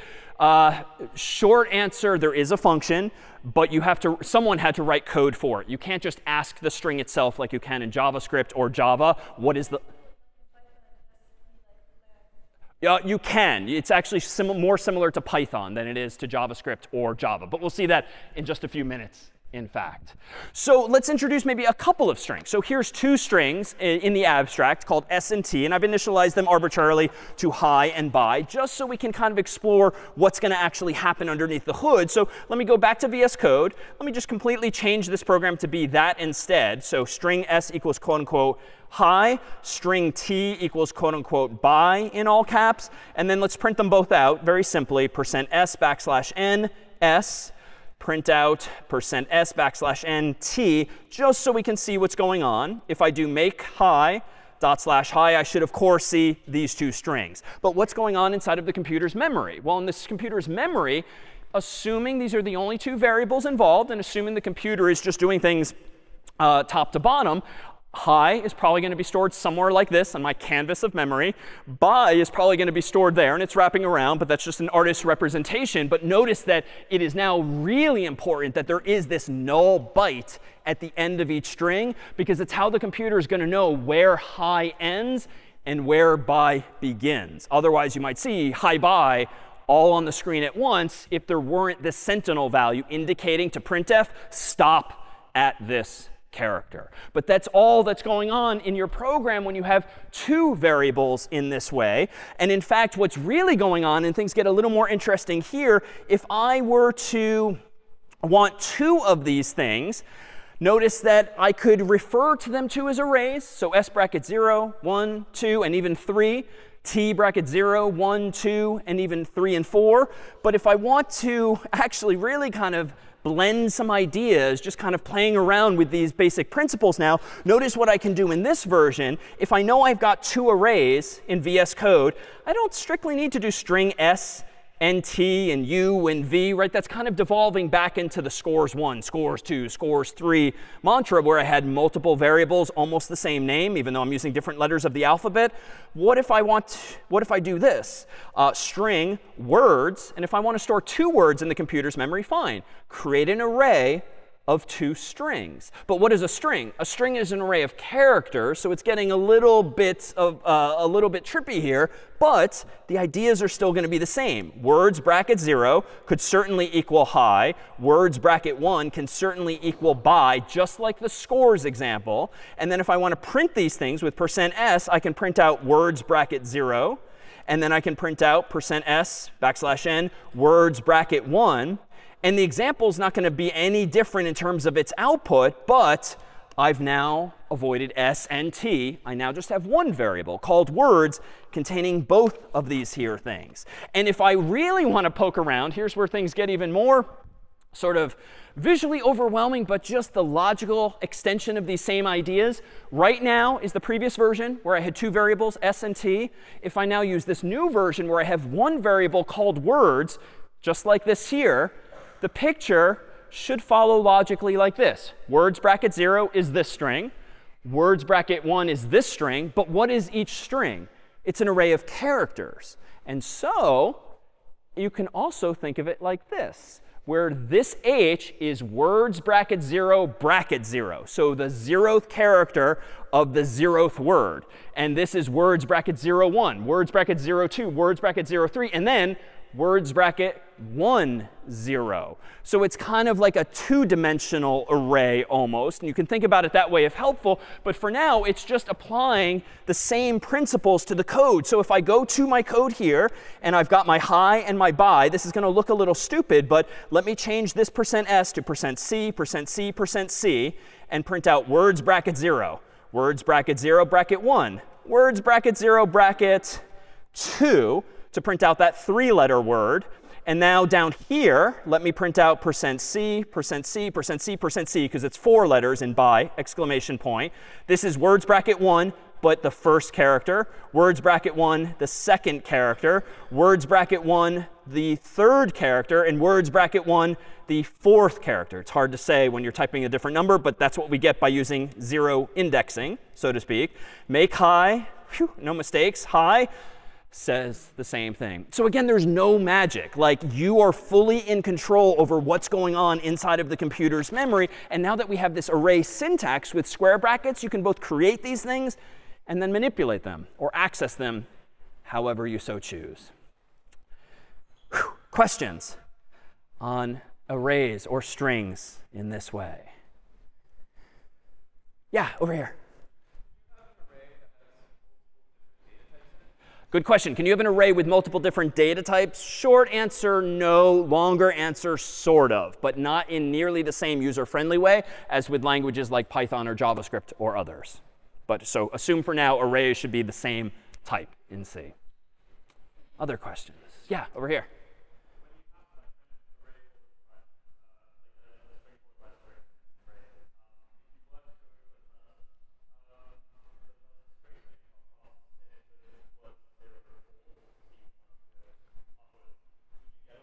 Oh, really good question. It will. Uh, so for uh, those who can hear, if you were to look past the end of one array, would you start to see the beginning of the second? In this case, maybe the word bye. Could depend on the particulars of your code in the computer. Let's try this. So let's get a little greedy here and go one past hi exclamation point null character by looking at words bracket 03, which should actually be our null character. So that's going to be there.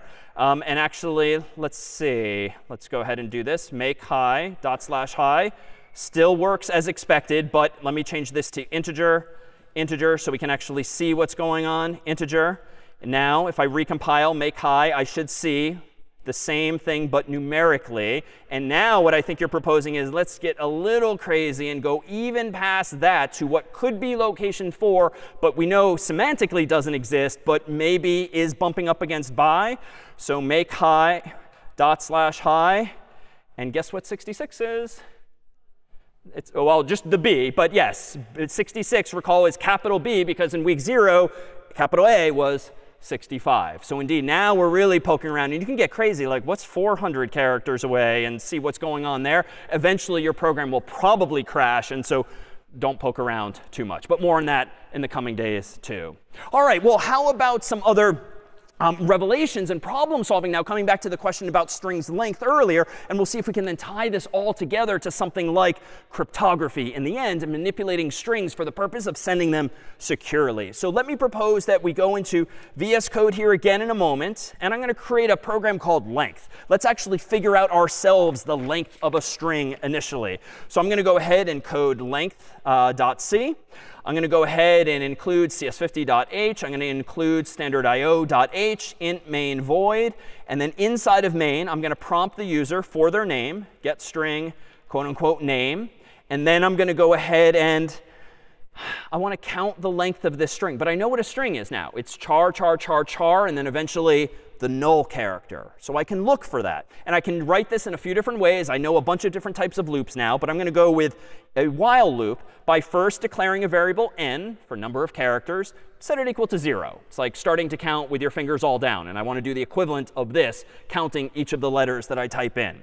So I can do that as follows. While uh, the name variable at location n does not equal quote unquote backslash 0, which looks weird, but it's just asking the question, is the character at that location equal to the so-called null character, which is written with single quotes and backslash 0 by convention. And what I want to do, while that is true, is just add 1 to n. And then at the very bottom here, let's just go ahead and print out with percent %i the value of n. Because presumably, if I type in hi exclamation point, I'm starting at 0, and I'm going to have h, i, exclamation point, null character, so I don't increment n a fourth time. So let's go ahead and run down here, make length, dot slash length, enter. Uh, hi, well, I guess I'm asking for name, so I'll do my name for real. David, five characters, and I indeed get five. If I used a for loop, I could do something similar. But I think this while loop approach, much like our counter from the past, is fairly straightforward. But what if I want to do this? What if I want to make another function for this? Well, I could do that. Let me, um, all right, let's do this. Let's write a quick function called string length. It's going to take a string called s or whatever as input. And then, you know what? Let's just do this in that function. I'm going to borrow my code from a moment ago. I'm going to paste it into this function, but I'm not going to print out the length. I'm going to return the length n. So I have a, a helper function of sorts that's going to hand me back the length of str the string. And that's why this returns an int, but takes a string as its argument. How do I use this? Well, first, I do need to copy the prototype so I don't get into trouble as before, semicolon. And then in my main function, what I think I can do now is something like this. I can do int length equals get the string length of the name variable that was just typed in. And now using printf, percent %i, print out length, semicolon. So exact same logic. The only thing I've done that's different this time is I've added a helper function just to demonstrate how I can take some pretty basic functionality, find the length of a string, and modularize it into a function, abstract it away, so I never again have to copy paste that for loop. I now have a function called string length that will solve this problem for me. Dot slash, whoops, wrong program, make length Huh. Use of undeclared identifier name. What did I do wrong? Apparently on line 16 of length.c. What did I do wrong here? Yeah, in front.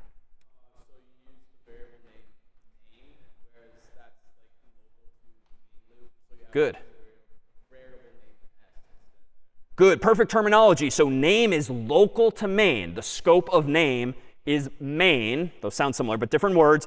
And so I'm actually should be calling this s because s is the name of the local variable being passed in, even though it happens to be one and the same as name. Because on line 9, I'm indeed passing in name as the argument. All right, so this is where, again, copy paste can sometimes get you into trouble. Let's try to make length again. Now it works, dot slash length, D-A-V-I-D, and now we have a function that seems to be working.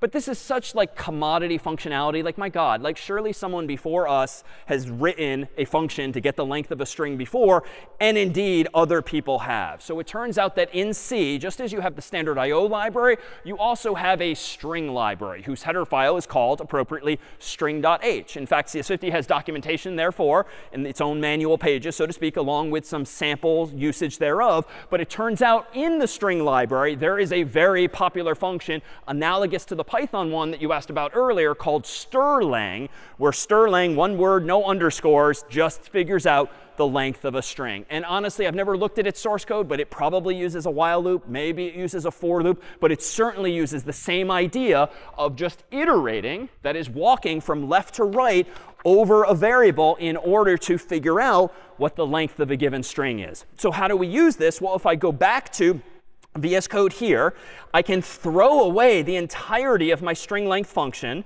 I can throw away the prototype, therefore, and I can include a third header file, string.h, inside of which I claim now is this function called strlen that I can just now use out of the box for free because someone else wrote this function for me. And string.h will teach the compiler that it exists. So if I now do make length and dot slash length, now I have a similarly working program that doesn't bother having me write unnecessary code. So this is another example of a library. The string library is just going to make our lives easier, but not having to, uh, for us not having to reinvent some wheel.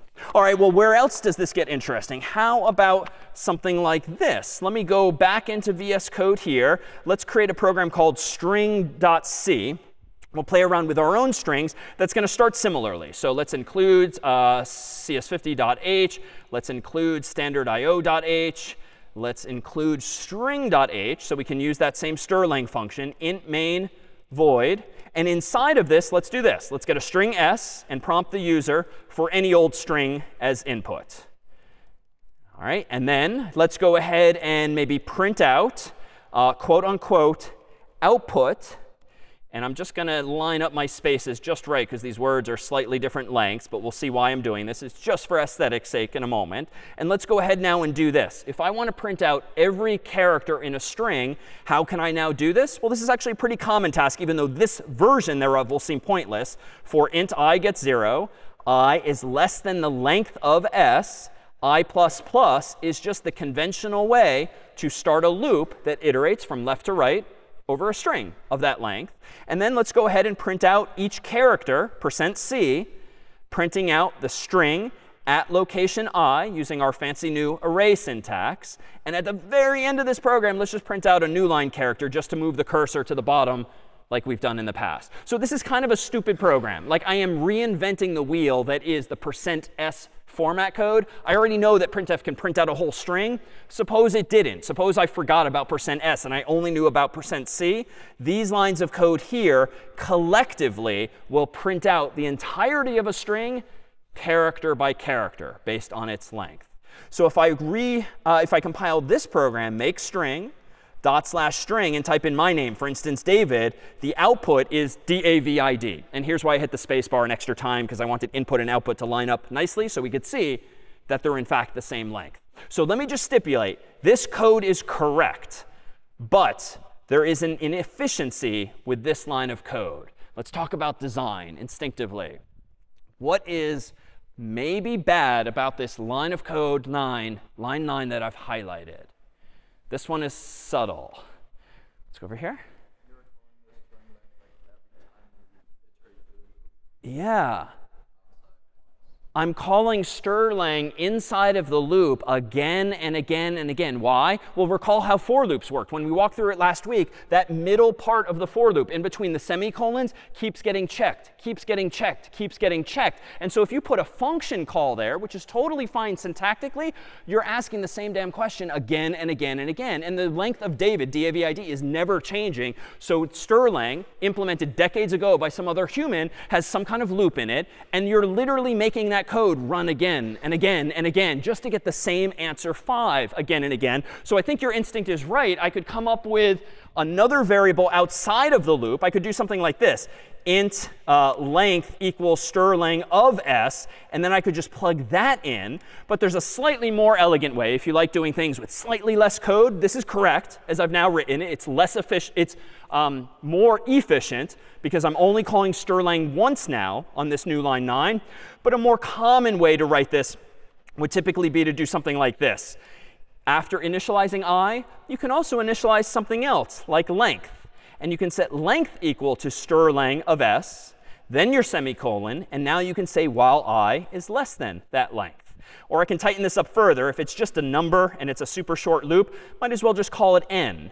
So this now would be sort of a canonical way of implementing the exact same idea, but without the inefficiency, because now you're calling strlen in the initialization part of your for loop, not inside of the Boolean expression that gets checked and executed again and again. Yeah?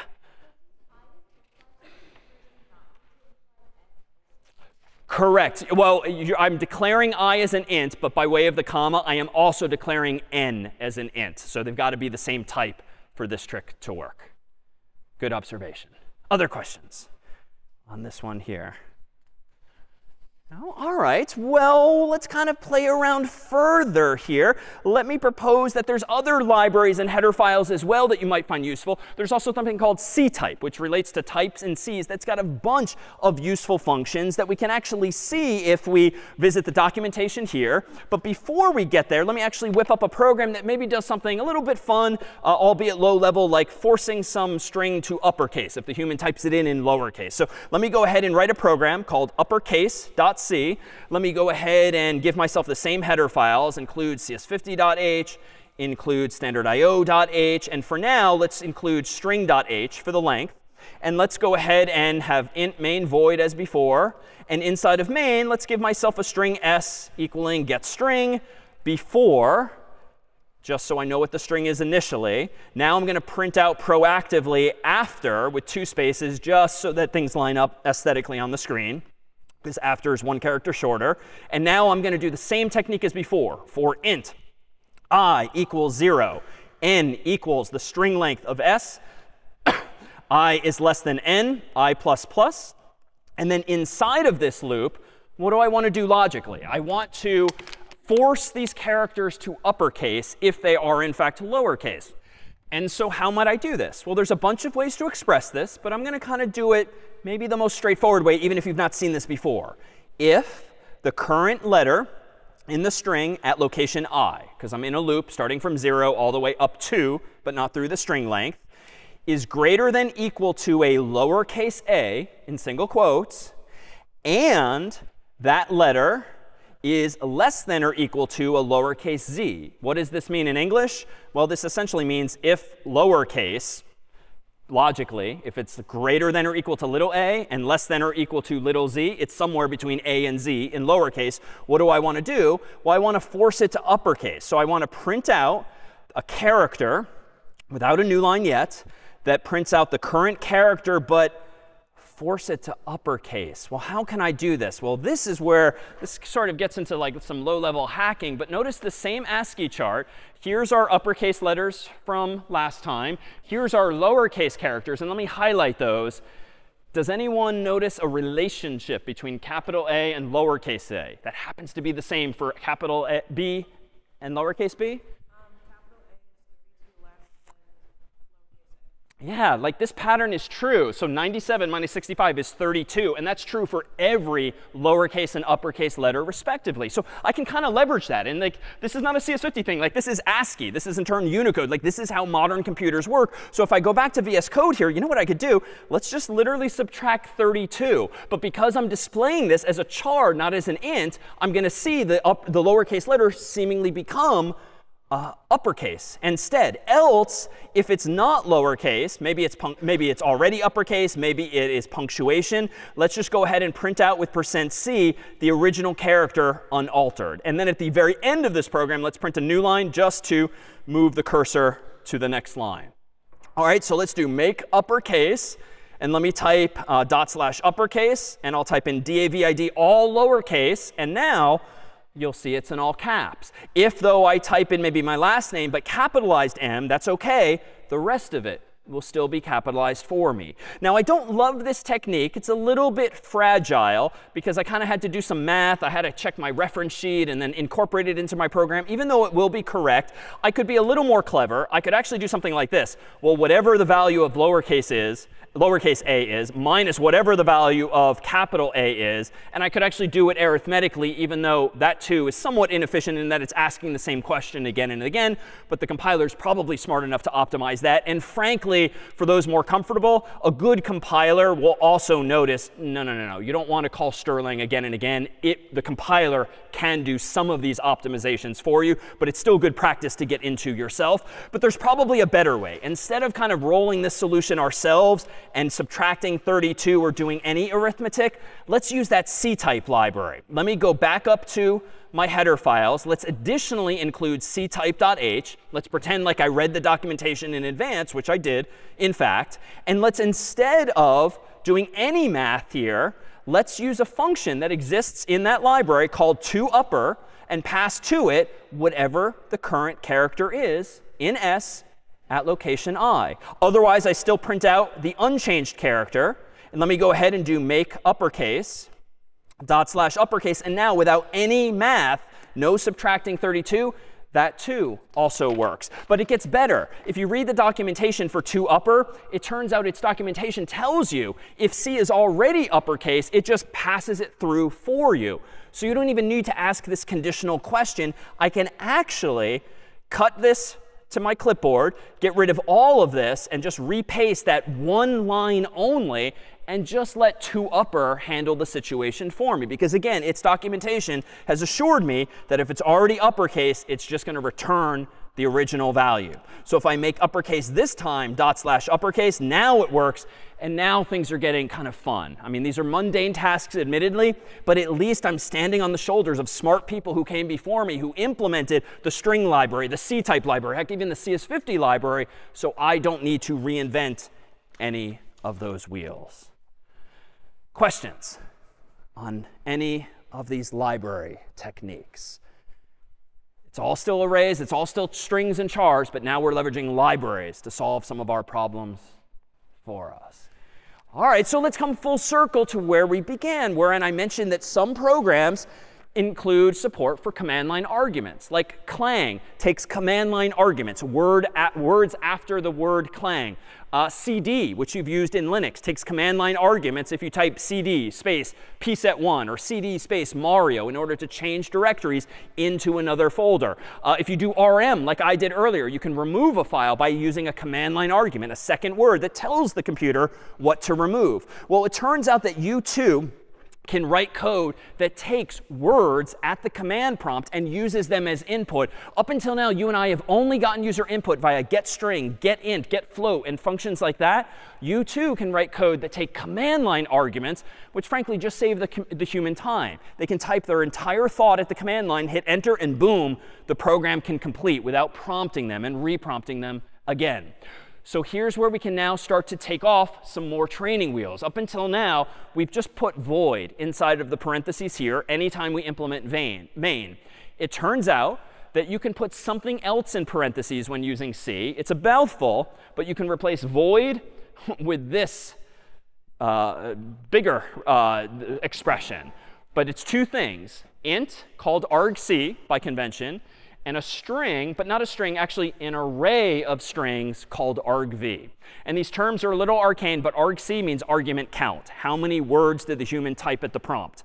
argv stands for argument vector, which is generally another term for an array. You've heard it perhaps from mathematics. It's like a list of values, or in this case, a list of command line arguments. So C is special. If you declare main as not taking void inside of parentheses, but rather an int and an array of strings, C will figure out whatever the human typed at the prompt and hand it to you as an array and the length thereof. So if I want to leverage this, I can start to implement some programs of my own that actually incorporate command line arguments. For instance, let me go back in a moment here to VS Code. Let me create a program, for instance, called greet. C that's just going to greet the user in a few different ways. So let me first do it the old way, cs50.h. Uh, let me include standardio.h. Let me do int main void still, so the old way. And if I want to greet myself or Carter or Yulia or anyone else, I could do old-fashioned now, get the answer from the user, get string. Let's prompt for what's your name, question mark, just like we did in Scratch, and then do printf hello, comma, percent s backslash n, answer. So we've done this many times now this week and last. This is the old school way now of getting command line, uh, of getting user input by prompting them for it. So if I do make greet, dot slash greet, there's no command line arguments at the prompt. I'm literally just running the program's name. If I hit enter, though, now getString kicks in, asks me for my name, and the program then greets me. But I can do otherwise. I could do something uh, like this instead. First, answer's a little generic, so let's first change this back to name and back to name, but that's a minor improvement there, just stylistically. Let's, though, introduce now a command line argument so that I can just greet myself by running the program, hitting enter, and being done. No more get string. So I'm going to go ahead and change void to int argc string argv with square brackets. String means, it, uh, the square brackets means it's an array. String means it's an array of strings. And argc, again, is just an integer of the number of words typed. Now, I'm going to somewhat dangerously going to do this. I'm going to get rid of my use of getString altogether. And I'm going to change this line to be not name, which no longer exists, but I'm going to go into this array called argv, and I'm going to go into location 1. So I'm doing this kind of on faith. I haven't explained what I'm doing yet, but I'm going to do make greet now, dot slash greet, and now I'm going to type my name at the command line, just like with rm, with clang, with cd, with any of the commands you've written with multiple words. I'm going to greet literally David. So I hit enter, and voila, I've somehow gotten access to what I typed at the prompt by accessing this special parameter called argv. Technically, you could call it anything you want, but the convention is argv and argc from right to left here. Just a guess then, what if I change this to print out bracket 0 and recompile the code, and I run dot slash greet David? What might it say instinctively? Any hunches? Yeah, so it's going to say hello dot slash greet. So it turns out you get kind of one for free. Whatever the name of your program is, is always accessible in argv at location 0. That's just because. It's a handy feature in case there's an error or you need to tell the user how to use the program. You know what the command is that they ran. But at location 1, maybe 2, maybe 3 are the additional words that the human might have typed in. Well, let's do something a little smarter than this. Let me go back to version 1. Uh, let me recompile it, make greet. Let me rerun dot slash greet David. And this seems to work fine. What if I get a little curious and print out location 2? Let me recompile the code, make greet, dot slash greet David, enter. OK, there's null. And I mentioned we'd see N-U-L-L, and here's one incarnation thereof. But this is clearly wrong. So I probably don't want to even let the user do this, because I don't want them to see bogus output. Like this is arguably the, a bug in the code that it even bothered to show this by default. So what could I do instead? Well, what if I do this? If argc equals equals 2, then go ahead and comfortably say, printf hello argv bracket 1. Else, if the human did not give exactly two arguments at the prompt, let's just print out some default value like hello world, like from last week. In other words, now I'm doing this error checking with a conditional, making sure with this Boolean expression, only if argc equals equals 2 and therefore has two words in argv, do you want to proceed? And so now if I do make greet again, dot slash greet David, this now works. But if I don't cooperate, and I just run greet, what should it say? Just hello world. If I run David Malan as two words, what should it say? Hello world, because that's not exactly equal to 2. Again, the first word in argv is always the program's name. The second word is whatever the human then has typed. Now, if we don't even know in advance how many words they're going to be, we can combine today's ideas. This is going to look a little weird, but it's the same thing as before. For int i uh, gets 0. i is less than, how about argc, i plus plus. And then inside of this loop, I can print out percent %s, uh, maybe backslash n, comma, and then print out argv bracket i. So I can have a loop that iterates argc number of times, once for every word at the prompt. I can print out argv bracket i, which is the ith word in that array from left to right. And so if I now make greet and I do dot slash greet alone, I just see the program's name. If I do dot slash greet David, I see those two one after the other. If I do David Malan, I get those three words. If I keep going, I'll get more and more words. So using just the length of the array and the name of the array, I can actually do quite a bit there. Now, there's actually some fun things you can do with this, and this is sort of beside the point, but there's this thing in the world called ASCII art, which is making pictures and beautiful things just using ASCII or maybe nowadays Unicode characters, but without using emoji. Like emoji kind of make this a little too easy, but if all you have are traditional, largely English letters and punctuation, you can actually do some interesting things on Linux systems. For instance, if I go back to VS Code here, let me increase the size of my terminal window here. Um, and it turns out that we've pre-installed, really for no compelling reason, but just for fun, a program called cowsay which has a cow say something. So if I want to have a cow say moo in ASCII art, I can do this and you get an adorable cow saying something like moo on the screen. But moo is a command line argument that is clearly modifying the output of this program because I could also change it to say hello, comma, world, and now the cow is going to say that instead. So it takes multiple command line arguments, if you will. But it also takes what are called flags or switches, whereby any command line argument that starts with a dash is usually like a special configuration option that you would only know exists by reading the documentation or seeing a demonstration. And if I have my syntax right, if I I do cow say dash f, and maybe I'll do, uh, let's see, instead of this cow say, how about I'll do dash f for file, and I'm going to change it into duck mode. And I'm going to have this version of the ASCII art say quack. So it's a tiny little duck there, but it's saying quack. And you can kind of waste a lot of time doing this. I can do cow say dash f dragon and say something like roar. And this is just amazing. Um, again, not really academically compelling, but it does demonstrate, again, command line arguments, which are everywhere, and you've indeed been using them already.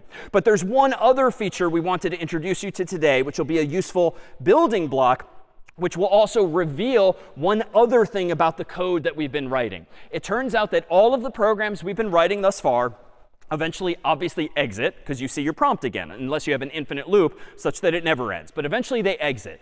And secretly, every program we've written thus far actually has what's called an exit status. It's like a special return value from the program itself that by default is always 0. 0 as a number in the world generally means everything's OK. The flip side of that is because the world tends to use integers, and you've got like 4 billion possibilities, like every other number in the world, when it comes to a program's exit status, is bad. If it's 1, it's probably bad. If it's negative 1, it's bad. And in fact, you've probably seen this in the real world. If you've ever had like a random error message on the screen. Here's a screenshot of Zoom, for instance. And that screenshot, somewhat confusingly or sort of unknowingly has an error code like 1132 that probably means that the Zoom software that some other humans wrote incorrectly somehow had an error, and it did not exit with status 0. It exited with status 1132. And somewhere at Zoom, there's probably a file or a book that tells the programmers what this error code actually means. This is not useful for you and me. There's some programmer at Zoom who would probably be like, oh, I know what I did or my colleague did wrong in this case. You've seen this elsewhere, even though this is not quite the same thing. But we'll talk about this in a few weeks. If you've ever seen 4 404. Like numbers are everywhere. And on the web, 404 means like file not found. It means you made a typo, the web server deleted a file, or something like that. But this is just to say numbers are so often used to signify or represent errors, even though that's not an exit status per se. That's an HTTP status code, which we'll soon see.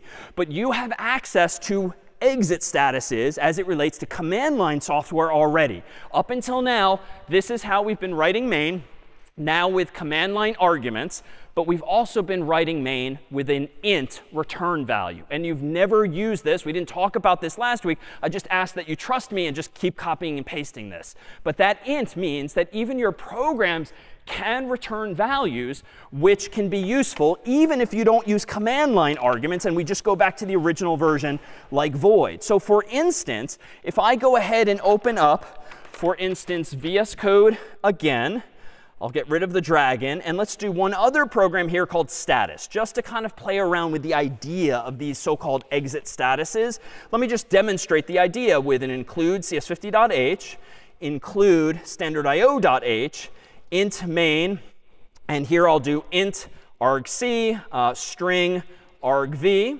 And then inside of main, let's do a similar program to before, like the hello world. So printf hello, comma, percent %s backslash n. Then let's print out argv1. But I only want to execute that line if the human gave me a command line argument. Otherwise, I don't want to even say some default like hello world. I just want to abort early and just exit the program. No output whatsoever. So I could do this. If argc does not equal 2, and it's a single equals, but it's a bang. An exclamation point means not equals. So this is the opposite of equals equals. Then previously I would have just printed hello world, but now I want to print out an error message like missing command line argument just to explain to the user why the program is about to terminate. And then I can return 1. It's kind of arbitrary. I could also return 1132, but why start there? This is the only possible error that could go wrong in my program. So I'm going to start at 1.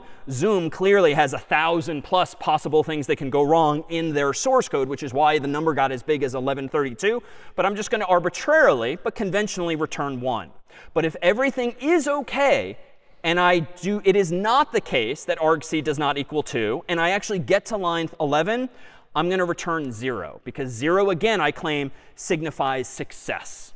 And all of this time, every program we've written, uh, you've written, has secretly exited with 0 by default. But now that our programs are getting more sophisticated, when something goes wrong, it turns out it's useful to have the power to just return some other value, even though the user's not going to see it. Even though the Zoom user shouldn't see it, it's still there. It's diagnostically useful to you, or in the case of a class, to your TF or TA or CA. So if I do make status now to compile this program, and run dot slash status and type my first name, I think this is a success. It should say hello, David, and secretly exit with 0. If you really want to see the 0, there's this arcane command you can type. You can literally type at your prompt echo dollar sign question mark. It's weird symbology, but it's what the humans chose decades ago. This will just show you what did the most recently run program secretly exit with. So if I do this in VS Code, I can do exit dollar sign question mark enter, and there's that secret 0. I could have been doing this this week and last week. It's just not that interesting. But it is interesting, or at least marginally so, if I rerun status and maybe I don't provide a command line argument or I provide too many. So argc does not equal 2 and I hit enter, I get yelled at with the error message. But I can see the secret status code, which is indeed 1. And so now if you're ever in the habit in either a class like this or in the real world where you're automatically testing your code, be it with check50 or in the real world things called unit tests and other third-party software, those tests uh, can actually detect these status code, exit statuses and know did your code succeed or fail, 0 or 1. And if there's different types of failures, it can detect status 2, status 3, status 1132. It's just one other tool in your toolkit.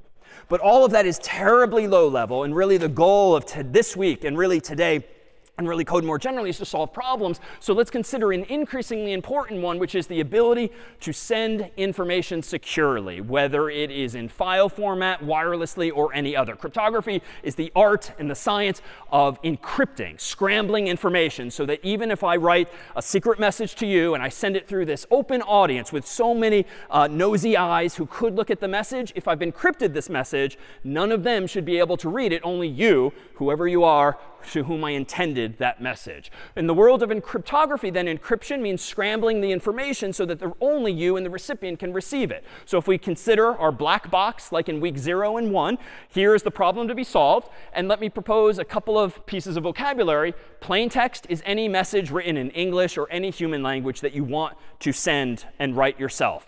Ciphertext is what you want to convert it to before you just hand it off to a bunch of random strangers in the audience or a bunch of servers on the internet, any one of whom could look at your message. So in the black box is what we're going to call a cipher, an algorithm for encrypting or scrambling information in a reversible way. It doesn't suffice to just scramble the information randomly, otherwise the recipient can't do anything with it. It's an algorithm, a cipher that encrypts it in such a way that someone else can decrypt it. And here's a common way.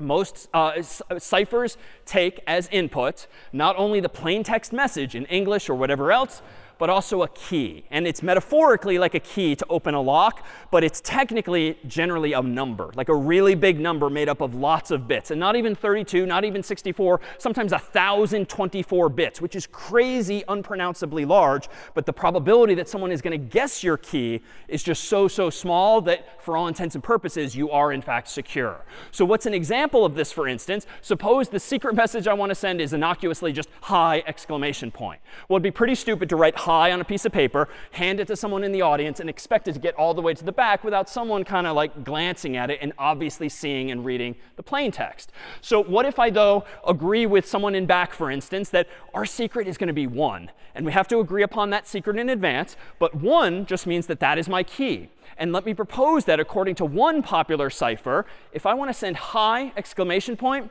change the H to an I and the I to a J. That is increment, effectively, every letter of the alphabet by one. And if you get to a Z, wrap back around to A, for instance. So shift the alphabet by one place in this case. And send this message now instead. So is that secure? Well, if one of you kind of nosily looks at this sheet of paper, you won't see hi. You will see some information leak in this algorithm. You'll see an exclamation point. So I'm enthusiastically saying something. But you won't know what the message is unless you decrypt it. Now, that said, is this very secure really in practice? I mean, not really. Like, if you know I'm just using a key and I'm using the English alphabet, you could probably brute force your way to a solution by just trying one, trying two, trying three, trying 25, go through all the possibilities tediously, but eventually it's probably going to pop out. This is actually known, though, as the Caesar cipher. And back in the day, before anyone else knew about or invented encryption, Caesar, Julius Caesar, was known to use a cipher like this using a key of three, literally. And I guess it works OK if you're literally the first human in the world. Uh, by, uh, by lore to have thought of this idea. But of course, anyone who intercepts it could attack it nonetheless and figure things out a bit mathematically. 13 is kind of more common. This is called rot 13 on the internet for rotate the letters of the alphabet 13. That changes hi to UV, exclamation point. You might think, what's better than 13? Well, let's double the security. Rot 26. Why is this stupid? I mean, there's like 26 letters in the alphabet, so like A becomes A. So that doesn't really help. Oh, wait. Oh, uh, I'm pointing at something that's not on the screen. Damn it. Um, suppose the message is more lovingly, I love you, instead of just hi. Same exact approach, whether or not there's punctuation, I love you, with an input of 13, might now become this. And now it's getting a little less obvious what the ciphertext actually represents. And now, what's twice as secure as 13? Well, 26 is surely better. But of course, if you rotate 26 places, that, of course, just gives you the same thing. So there's a limit to this. But again, that just speaks to the cipher being used, which is very simple. There's much, much better, more sophisticated mathematical ciphers that are used. We're just starting with something simple here. As for decryption, if I'm using a key of 1, how do I reverse the process?